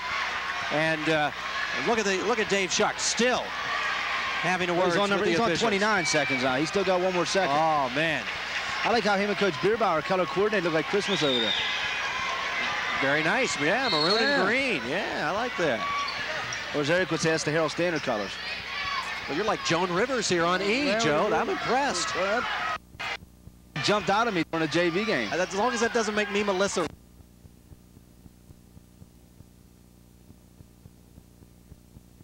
Uniontown, Vaughn for ah. three. Dagger in the heart. Seventh, eighth, excuse me, eighth three-pointer of the night for the Red Raiders. Runner by Mahoney, no good. Jones with the rebound, and he's fouled. 52-37, all Red Raiders here in the third quarter. I think we got Timmy Mahoney for that one. If so, that will be Mahoney's first. It's the second team foul on the Mustangs. Yeah, it's Timmy's first. What a rejection by Gatus, but but give Brandon Duncan credit. Did not get flustered, picked up the loose ball, found Vaughn's open on the wing. He nails his third three-pointer of the night. The Raiders now up by 15 with the basketball. Winfrey running a shot. Oh, nice look. Jones finishes it. Nelson Jones, 27 points the first time. Only six tonight. They haven't needed him tonight. They've done their damage from outside. Now Gatus free inside for a pair. Kevin Gatus is coming in, to give Coach John a lift right now. Raiders by 15, 4.45 in the third quarter. Jones, or excuse me, Vaughn spots up for a jumper. That's no good, and Gatos with the rebound. Nathan Force calling for the ball here. Tries to hit Hicks underneath. And hits it to him. Did he shuffle? Indeed. Mark just couldn't get his steps down inside right now. Nelson Jones, strong defensive inside, forcing that turnover. Vaughns will bring it full court. Three pointers tonight for Uniontown. Vaughns has three, Duncan has two, Jenkins has two, Campert has one. That's been the difference tonight. They're holding people coming off in screens. Vaughns hits Jacobs, can't get the roll. Second shot, no good. Third shot, good. Third time's the charm for Chris Jacobs. And he has 12. 17 point Red Raider lead. Mustangs in Oh, nice serious trouble. Force. Nathan rolls it up and in. Force with the drop and a nice feed from Gatus. Nathan Force in double digits. He has 10 for the Mustangs, but they trail by 15. They, They need to make something happen Yeah, quick. they can't trade baskets right here. And now they're going to slow the game up a little bit here. We'll go into that weave now, three-man weave. Jacobs, Vaughns, Winfrey, and we'll get contact as Tim Mahoney, will be called for the foul. Mahoney and Brandon Duncan hooking up. Mahoney his second, third team foul on the Mustangs. 3.37 left in the third period. See, if I'm, I'm Coach Shuck right now, I'm, I'm attacking Laurel Highlands. I want to knock him out right now. Well, old Mo definitely wearing the maroon. And Hicks There's a turnover. Jones turns it over. Now Hicks. Still with it. Force, baseline. Jay is in. Well, they've gotten it back to 13. Fifth bucket of the night for Nathan Force. He has 12. And the Red Raiders come back. And here's Duncan. No good. Long rebound. Scramble. Vaughns. Jacobs. Count it. Chris Jacobs. 14 for Jacobs. The lead back up to 15 for the Red Raiders. And now contact up top is Jacobs. Fouling Hicks. It's only Chris's second, team third here. Terrence Vaughns picked up that fourth foul early in the third period. He has stayed out there for the entire second half and thus far has managed to avoid that fifth foul, unlike Craig Radcliffe, who started the half with four fouls and fouled out of the game in the opening minute. Now a long three from Hicks. Don't know if you want that shot if you're the Mustangs. They do get the rebound though, and a second chance, now a turnover. And Vaughns is fouled by Hicks. Mark Hicks will be called for his second foul. That is the fourth, excuse me, the third team foul of the Mustangs. Three team fouls aside here in the second half. 58, 43. Landman back into the game. Riley's back in the ball game and Sloboda will check in for the Mustangs as well. trying to give some people a blow here, Mark John is. Tell you what, Riley was holding David Winfrey. Uniontown with their starting five still out there on the court as they have been the entire third period. We haven't seen Jenkins yet. Now Nelson Jones underneath draws contact. This is on Nathan Force, I do believe. Nathan had his hands straight up and down. Yep. Call this one actually on Santino Sloboda. Sloboda. His first foul. Nelson Jones will go to the line for a pair. Jones two for two from the stripe in the first half. The Raiders shot 10 for 11 from the free throw line in the first half, but Jones misses. That's Uniontown's first opportunity here in half number two. And very quickly, Coach John with the uh, with Mahoney and Hicks and company back in. Laurel Highlands shooting very well from the free throw line. Also tonight, they are 15 for 18 as a team. Uh, market improvement over their struggles the first time these two teams met. Interesting, interestingly enough, though, Laurel Highlands won that first game. They're shooting well from the free throw line tonight, but losing by 16 as Jones connects. Here, Jenkins back in the ball game now. As Terrence Vaughn's going to get a well-deserved rest. No half-court trap now. Hicks is working. Winfrey nearly stole it. Now baseline runner by Mahoney, no good. Gatus keeps it alive. Swintoski chases down the loose ball, and he's fouled up top. That foul on the floor. They'll call that one on Bozick. Excuse me, not on Bozick. He's not out there. Brandon They'll Call that one on Brandon Duncan, number 31. His second foul. Laurel Highlands will inbounds. De'Aaron Jenkins, as Joe mentioned, into the game. He played just a few minutes in the first half, made him count though with 10 points, and Laurel Highlands throws it away on the inbounds. Sloppy basketball there as the Red Raiders will be the beneficiaries of the Mustang turnover. 2.22 left here in the third period. The complete difference between this ball game and the first time, Uniontown shooting the ball extremely, a lot better than they did in that first game down in Uniontown. Absolutely. Offensively, they have been clicking, which they never could get their half-court game in gear the first time around. Now Winfrey, send him to the line and count it. Hoop and a harm. Winfrey with a three-point opportunity. David Winfrey's first two of the night. And it's 61 to 43. Mark Hicks is nailed for his third foul. And now Winfrey will have the chance for the three-point play. David Winfrey's not the scorer on this team. His job is to set up his teammates. He does a very good job of that. Any point you get a bonus, and he just picked up three. And now it's suddenly a 19-point Red Raider lead, their biggest advantage of the night, and we'll get a baseline foul on Nelson Jones. Well, they're calling this close right now because I don't think they want to see it get out of hand. Wise choice. Uniontown Laurel Highlands. Things can get out of hand very, Very quickly. quickly. Mahoney will go to the line.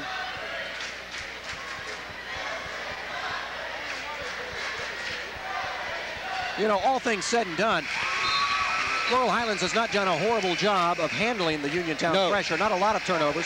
They've shot well from the line. Uh, they have not shot the ball well from the floor. they haven't shot the ball well, ball well floor, and defensively, uh, Uniontown has been able to handle their man-to-man uh, defense uh, with relative ease compared to that first game, and uh, that's been the difference. Laurel Highlands hasn't played horribly, yet they find themselves down by 18. Mahoney hits the first, strong on the second. Scramble for the loose ball, and nice play by Winfrey as he gets it to Jenkins. Duncan thought about the three, then thought about it twice. Now another drive down the lane. Nice swat by Riley. McLeod there. Again, Riley. Now it's Winfrey inside. Riley again, but this time we'll get the foul call. Dan Riley blocked it once, blocked it twice, but they tally him for the foul the third time. Nice job by Kevin McLeod to keep it alive again. Yeah, he has been battling on the boards, and you're right, Joe. That's a couple times tonight that he's been able to just keep the ball alive and allow a teammate to uh, benefit. That was Riley's first foul, This would be the biggest lead of the night, Chuck. seventh team foul on Laurel Highlands, so Uniontown in the bonus the rest of the way. This was a shooting foul, and Winfrey, who can struggle from the line at times, is three for three tonight, Now to one three one half court. Swing it ahead. and it is their biggest lead, as you mentioned, at 20. Runner down the Oh. lane. No shot. See, but we'll get I don't know about see, I don't know about that foul because Timmy Mahoney was leaning in on, and I can understand why Chris Jacobs right now is, is trying to figure this one out because Timmy Mahoney kind of uh, leaned in on that one. Jacobs, I thought, might have been sliding a little bit, though. And usually they'll give the offense the benefit of the doubt. You have to be firmly planted uh, defensively at this level. You get to major college, certainly in the NBA, defensive player will get a little more latitude. Here, that's going to go on the, uh, that's going to be called a block more often than not. Mahoney makes the first, 64-45. Mustangs trail by 19, make it 18 as Mahoney hits a pair.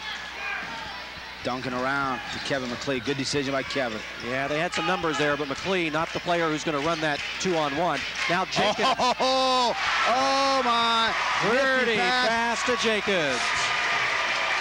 De'Aaron Jenkins, and now we get a foul. And I think we're going to get a foul called on Laurel Highlands. It's going to be on number three. Was that on the shot? Yep. And it's going to be on Santino Sloboda. Yeah, Sloboda's second.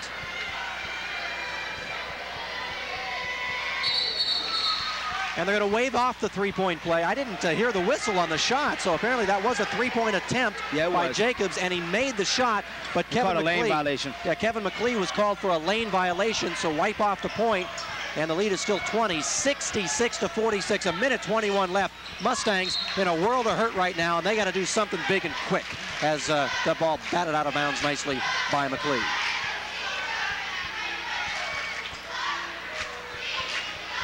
And I'll be honest with you, I don't know what the Mustangs can do in these final nine minutes with Craig Radcliffe on the bench. Well, Landman finds Riley, Oh, ball swatted out of bounds, they'll call the foul. Well, one thing they do is just got to be patient, do what they do best. You know, don't try to do too much. Chris Jacobs will join Nelson Vaughns right, with four fouls. And again, that is the one potential storm cloud on the horizon for the Red Raiders. Vaughns and Jacobs with four and Jones with three. They have a cushion, but you don't want to be losing a bunch of players, and Jones is going to come back in as Riley hits the first. Jacobs will take a seat for the Red Raiders. Riley's first point of the night. And Chris gets a well-deserved hand.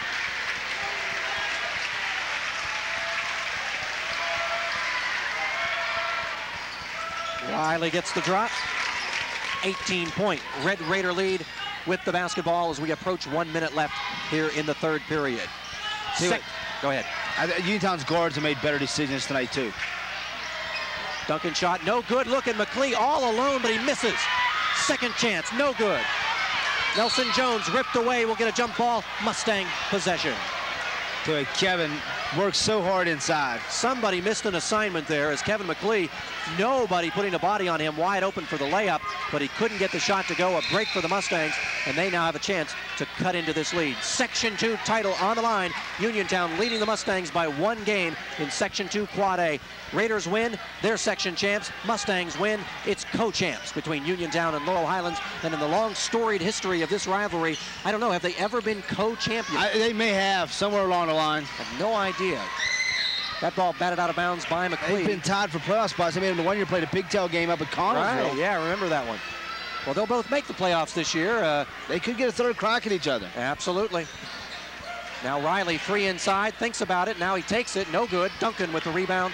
Back come the Raiders, 37 seconds remaining in David, the period. David Winfrey's played a really nice third quarter.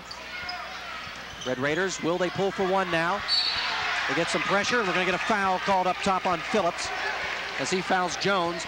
Again, even though we're only in the third quarter, Uniontown already almost in the double bonus. That's the ninth foul, and uh, Uniontown has also committed seven fouls, so Laurel Highlands in the bonus, both teams in the bonus in the first, uh, here in the third quarter, and you mentioned it, Joe, the officials calling it tight here in the second half. Yeah, I don't think they want to see anything get out of hand here. That's Phillips' second free, uh, second foul rather, and Jones will go to the line. He's three for four from the free throw line. 26 seconds remaining in the third quarter. Uniontown leads by 18. And you know what? We talked about this a little bit during the pregame.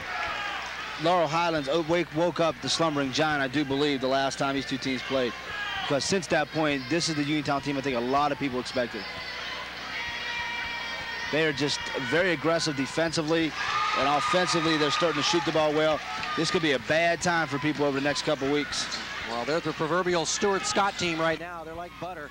They're on a roll. Ask Pittsburgh Central Catholic about that. And uh, right now, ask the Laurel Highlands Mustangs about yeah. that.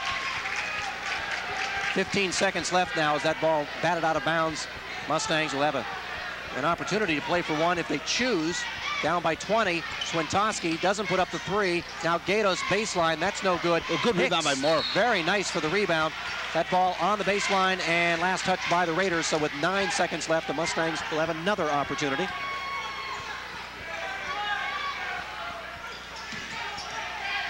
They're just running out at people better. Four, Four seconds left. This is for three in and out. No good at the buzzer. That won't count. Mahoney's three halfway down and out. And the follow by Force would not have counted if it would have dropped. And we are three quarters of the way home. And right now, the Red Raiders flying high, and they're eight minutes away from an undisputed Section 2 title. After three quarters of play, the score, the Uniontown Red Raiders 68, the Laurel Highlands Mustangs 48. Fourth quarter action up next.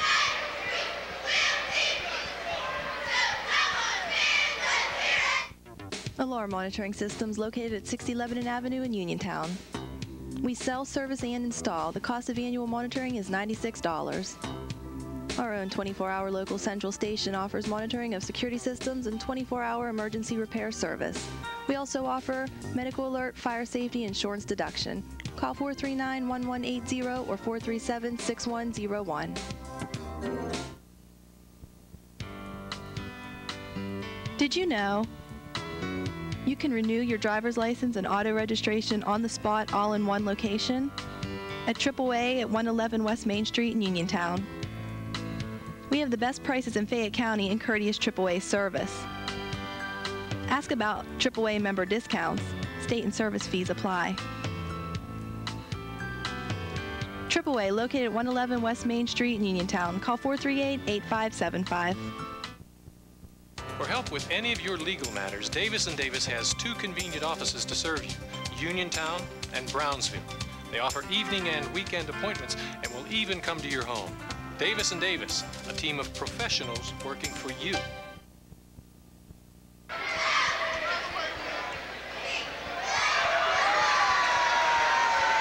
Here we go. Welcome back to HSTV Sports. Chuck Durso along with Joe Hoke, ready for the fourth quarter of the Uniontown Red Raiders. Lead the Laurel Highlands Mustangs 68 to 48. Joe, we know who the three playoff teams from Section 2 will be. It's Uniontown, it's Laurel Highlands, it's Connellsville. Tonight's game, along with the Connellsville AG game, deciding the order of finish. And right now, it looks like if Connellsville defeats AG, uh, AG over in York Run, then we're going to have a second place tie between the Falcons and the Mustangs unless Laurel Highlands does something big here in the fourth quarter. And that'll just make the uh, WPIAL a whole lot more happier trying to figure out that log jam. right. As Brandon Duncan, and I'll tell you what, if LH does in this zone, they won't stay in it for long because uh, Dave Shuck will pull it out. Duncan on the floor, Kevin McLeod, Nelson Jones. It'll be uh, Terrence Vaughns, David Winfrey for the Mustangs. It is Force Hicks, Swintoski, jumper down. Terrence Vaughns with his 14th point of the night. And I tell you what, they are shooting lights out right now. Nine three-pointers. They get one more three, and, and why wouldn't they? They'll be in double figures. Jumper out of corners, an air ball. Picked up rebound, ball's tapped up. Here comes Nelson Jones. The Raiders want to run, but a great decision here. No reason to turn everything anything over here. Just be patient and look for good shots. That's senior leadership by Nelson Jones as he knows, up by 23. Just pull it up. Right now, the clock is your friend if you're wearing the maroon. So it's Gatus, Force, Hicks, Swintoski, and Mahoney, the five on the floor for the LH Mustangs. Terrence Vaughns was non-existent the first time these two teams played. He has 18 points with four three-pointers tonight. He's been very... Kevin McLeod can't finish. How did he avoid the travel when he bobbled that ball? Uh, great uh, presence of mind by McLeod not to shuffle the feet. He's rewarded with a pair from and the line. Mark Hicks picks up his fourth foul, I do believe. From bad to worse for the Mustangs. Yeah, this has just not been their night at all. And Kevin McLeod now will go to line looking for his first two points of the evening. I'll tell you what, though, Joe, that doesn't mean he hasn't contributed. Uh, he hasn't scored yet No, tonight. but he's been a big force Oh, on the glass. And defensively. Yeah. He gives them a little bit of a presence inside. Wide body. And uh, Uniontown doesn't have many wide bodies. In fact, he's about it. The All-State linebacker with another year to go for the uh, Red Raiders football fortunes. And he'll be a nightmare for some people next fall. To the corner they go. That's, oh, nice dump down, nice look. Gatus was trying to go to Hicks. It was a good look, but good defense by Uniontown. David Winfrey's just going to hold this thing out. Vaughn's wanted to turn the corner, nothing doing. They'll pull it back out. Brandon Duncan, tell you what, what a good job he's done. Nice steal there, good play by Mahoney. Swintoski now will wait, skip it to uh, Timmy. Tell you what, they are just all over the ball right now, Uniontown is. This is exactly how they played against Pittsburgh Central. They were just all over the basketball, and Pittsburgh Central's guards just folded like a tent. Well, that's what you're going to get when you go up against the Red Raiders. Everybody in the WPIAL knows it. No one wants to draw this team in the first round. No one wants to uh, draw this team at any point. Uh, And eventually, they come off of Winfrey's leg, and Yeah. it stays with the Mustangs. right call. Eventually, if you want to win the WPIAL, you're probably going to have to beat Uniontown. Yeah, you're going to have somewhere along the line because, like we talked before, if they come to play, I honestly believe it's the Uniontown Invitational. But it's a scary thought having to go up against that tough defense. In the Mark Hicks. good move by the senior, good finger roll, can't get it go out. Mark continues to work hard, and we're going to get a foul. Is this on Mark? Yes, it is. And if that's on Mark, Mark has now walked the plank, and I'll tell you what, Mark's going to finish tonight with 12 points, none here in the second half. And Mark Hicks uh, will not only finish tonight, but that will finish his Laurel Highlands career as far as the regular season is concerned. The 6'2 senior uh, will step off of this floor for the final time as a Mustang. Tell you what, he's done a great job for the four years he's been with Mark Yes, he has. And, and again, you go back to that first encounter over at uh, uh, Uniontown a few weeks ago, and what an important player he was, along with Nathan Force. Those two were probably the key players for the Red Raiders. Uh, what a great year, what a great career, and he will now uh, get a nice round of applause from the Mustang fans as Mark Hicks disappointing finish to his career. But again, playoff action, so his career's yeah. not over. He'll be back next week. One thing Uniontown was able to do here, Laurel Highlands faithful never got into the ball game. And I'll tell you what, you talk about a scary thought, when, when, and I mentioned a few moments ago, senior leadership from Nelson Jones. He's it. Yeah, I mean Alan Burnsworth, uh, also uh, also a senior, uh, but he doesn't get much PT. Uh, as far as the players out there that lead the way for the Red Raiders, uh, everybody except Jones coming back next year. How scary is that? And there's one that they could get back that didn't play this year. This, is very scary. This team you know, there's always going to be speculation. There's been for the past couple years about head coach uh, Dave Shuck, how much longer he's going to coach. Uh, I got to think he's. I got to think he wants to come back at least one more year. I think it depends on how far they go this year. Could be. Could be. Misses one of two, Nelson does, and it's 73-48 in favor of the Uniontown Red Raiders. Good move on the baseline by Nathan Force. It gets blocked. Nelson Jones once again decides to pull it out. Good swing pass here. Winfrey gets it on to Chris Jacobs, who's had a very good ball game here. There's Terrence Vaughns. Ooh, off the front of the side of the rim will not go down. Gatus with another good rebound. Gatus Kevin has given him a lot of good minutes tonight for Coach Mark John. And Terrence Vaughns has fouled out. Well, I was just about to make. And he knew it as soon as yeah, he hit him. I was just about to make a joke. Hey, Terrence Vaughns missed a three. You better put him on the bench. Uh, well, now he's going to go on the bench uh, because of the uh, fifth foul. But how about Terrence Vaughns? Four three-pointers, 18 points on the night. Uh, he leaves the game as the leading scorer for the Red Raiders. And the Mustang fans are having some fun now, chanting goodbye to Terrence Vaughn. But you know what? The Red Raider fans are responding scoreboard.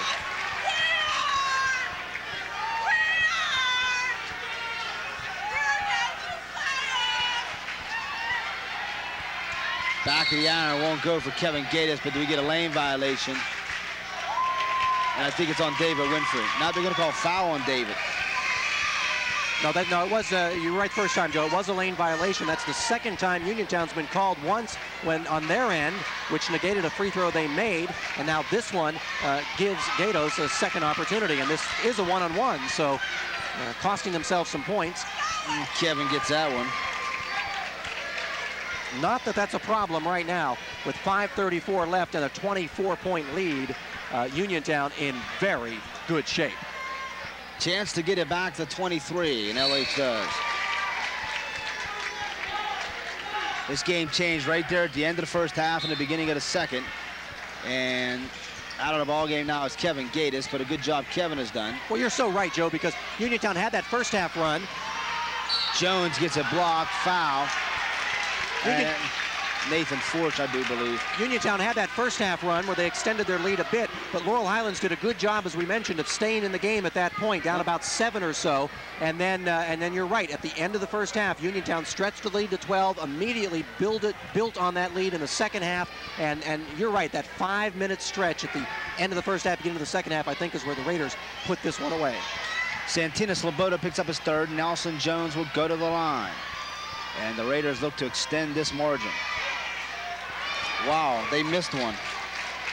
Jones now six for nine from the free throw line. Jones in double figures has 10 points, two field goals, and six, as we just mentioned, coming from the strike.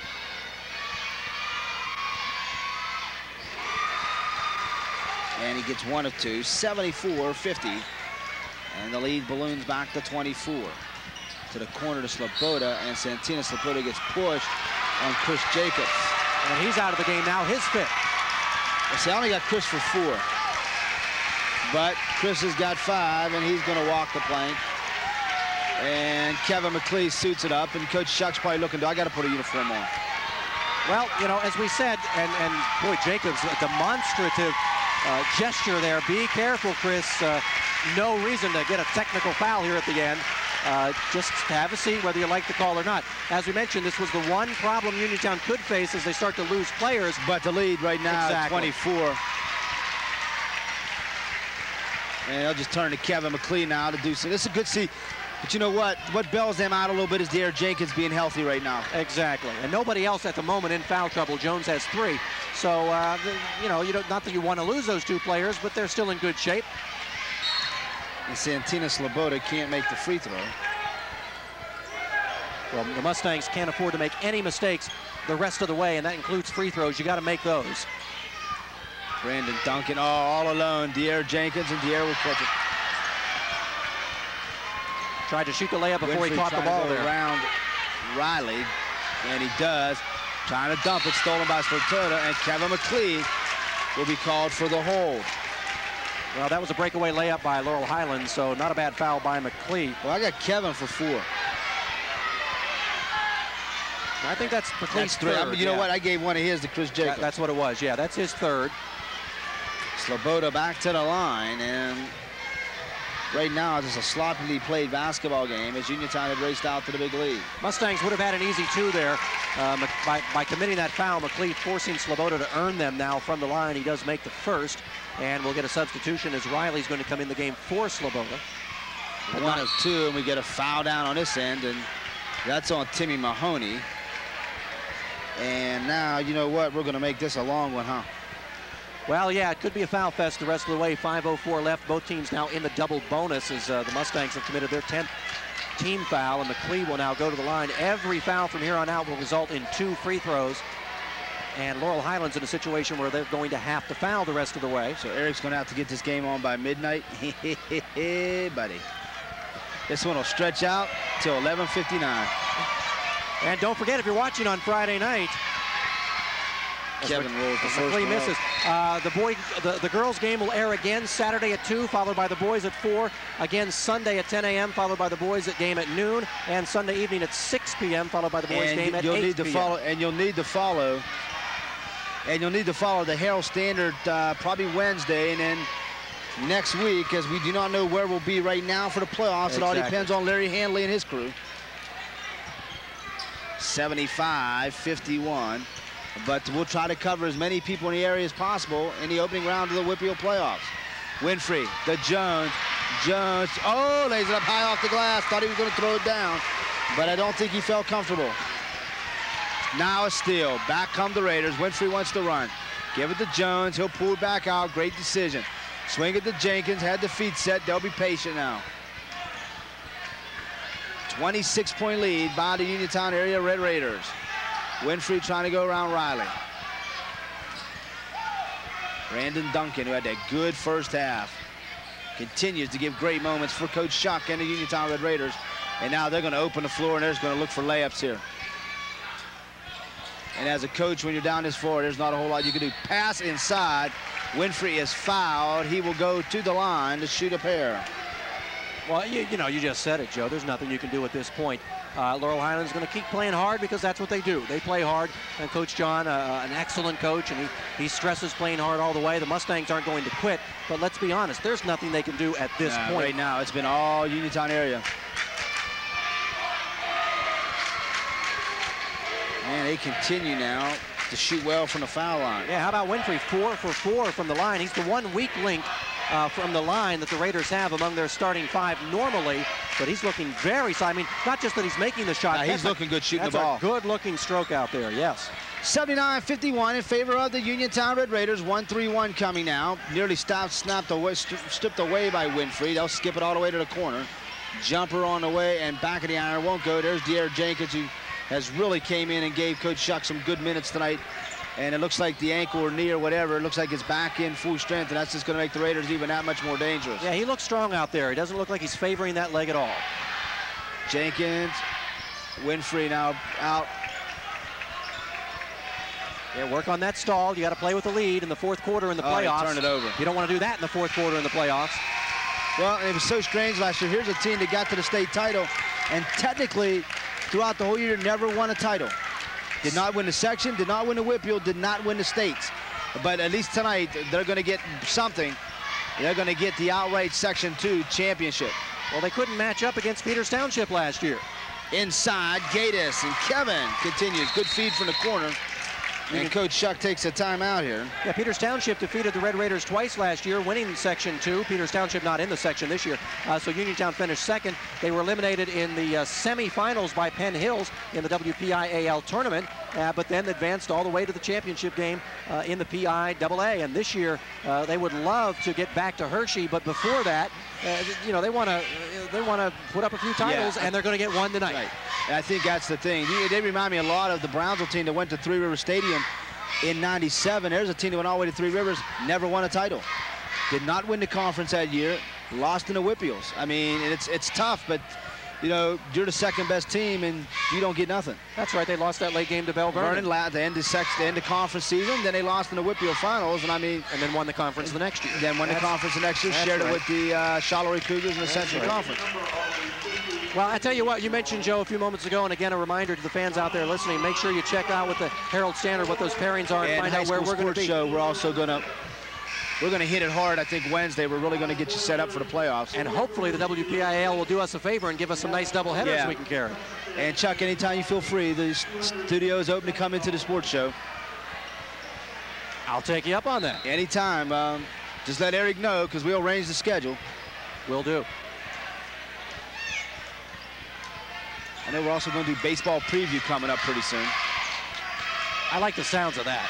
Baseball preview. On this beautiful day we had here Oh, on this yeah. Friday, I love the sounds of baseball starting. Baseball preview. That should be in a couple weeks. We're going to try to get the sections that have been realigned and get everybody set up for that because you don't know about it, but high school baseball is only about a month about a month away, a month and a half. I think I got to go home and oil up my glove tonight now that you mention it. And we should have some good baseball teams in the area. David Winfrey's going to be fouled by Riley.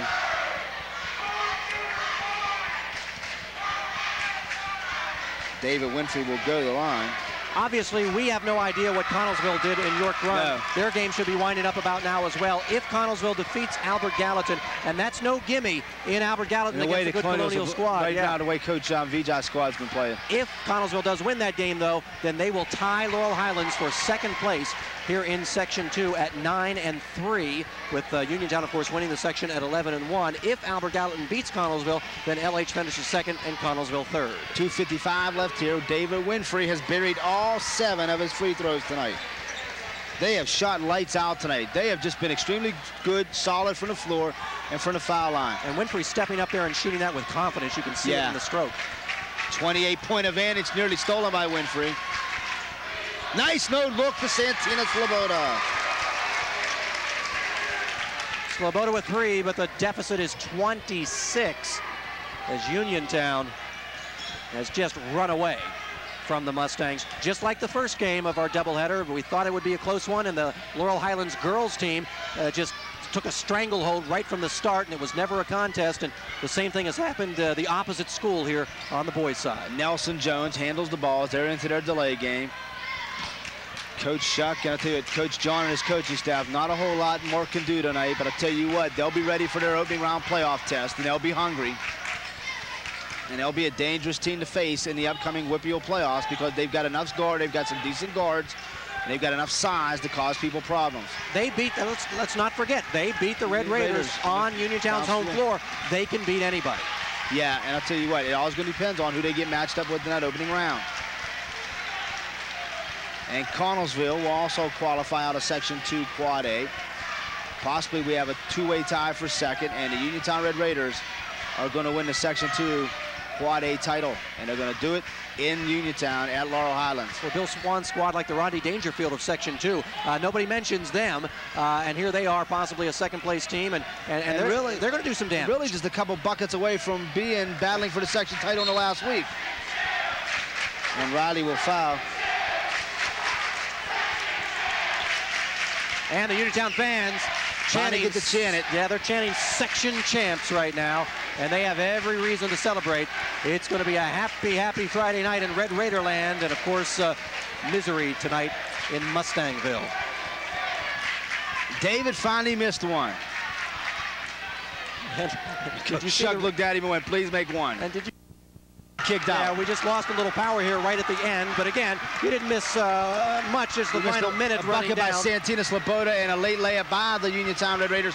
And the Red Raiders are walking out here with an 83-57 victory over their crosstown rivals, the Laurel Highlands Mustangs. And more importantly, Chuck, they are your Section 2 Quad A champs like everybody thought they would be. Big celebration in midcourt and a well-deserved section title by the Uniontown Red Raiders who came into this season as the big, the heavy favorites in the section and the number one ranked team in the WPIAL. And that's tough to do, to, to live up to those kinds of expectations. They started the season at the top of the mountain. They didn't spend the entire season at the top of the mountain, but most importantly, they finish the season at the top of the mountain.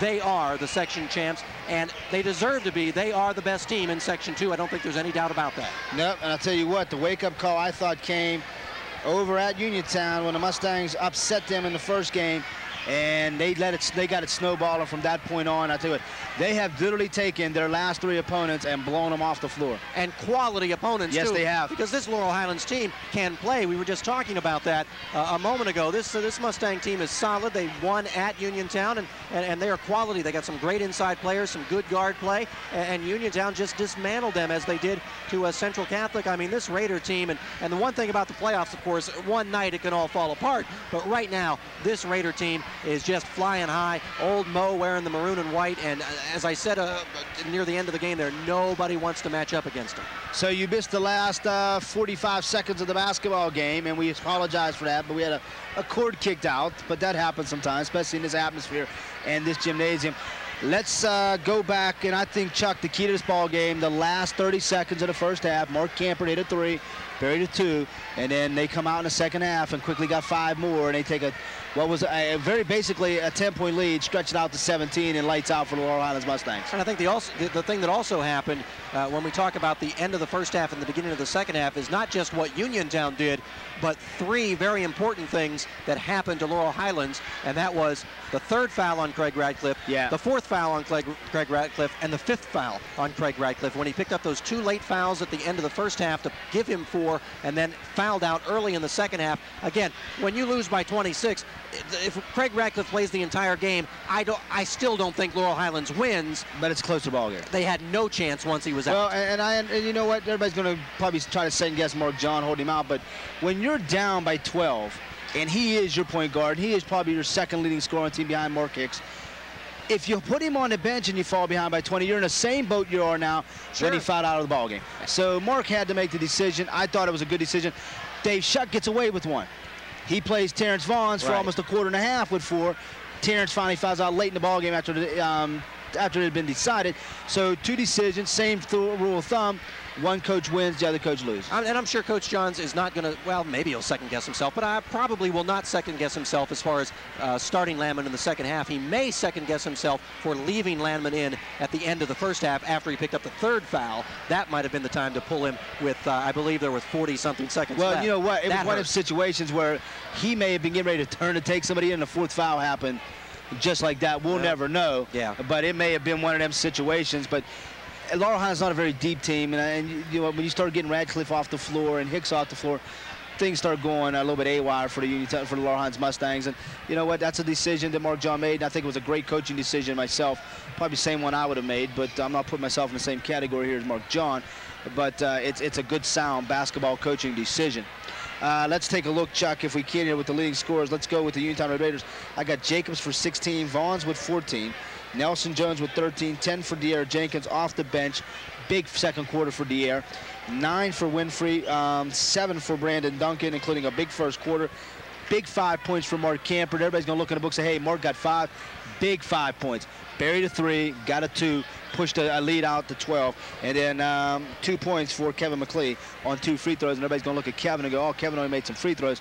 Kevin huge on the glass, keeping the balls alive a lot of times for the Uniontown Red Raiders. Now, let me just jump in just one quick correction. And, and again, these are unofficial, so your numbers could be right. I have Vaughns with 18 because I have him with four three-pointers uh, and a pair of field goals and also two free throws. But at any rate, uh, whatever the final number is, uh, a great balance when you look at four Red Raiders in double figures in Vaughns, Jones, Jacobs, and then uh, Jenkins off the bench, also in double figures, and Winfrey and Duncan just missing as well. That's the kind of balance that Coach Shuck likes to see. He doesn't have a team that, or he doesn't like to have a team that depends No. on just one player. He wants them playing as a team, both defensively and offensively. And boy, tonight it was textbook. On the other side for Coach Mark Johns is Laurel Highlands Mustangs. Two by Radcliffe. The fouling out early in the fourth quarter really did them in. Mark Hicks had 12 in the first half. He ends with 12. 10 for A.J. Swintoski. He had 10 at the end of the third quarter, comes up scoreless in the fourth. 12 for Nathan Force. Nathan gets nothing, and he only had four in the second half. Five for Santino Sloboda off the bench. Two for Dan Riley, and I got Kevin Gatus for two, four, six, seven, eight, and that looks about right.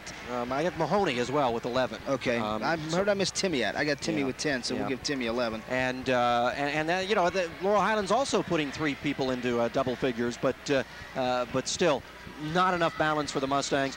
Couldn't handle the are you okay? couldn't handle the defensive pressure uh, by the uh, Red Raiders as And well as they needed. It's, it's, to. so, it's so nice to see the happy cameraman come back.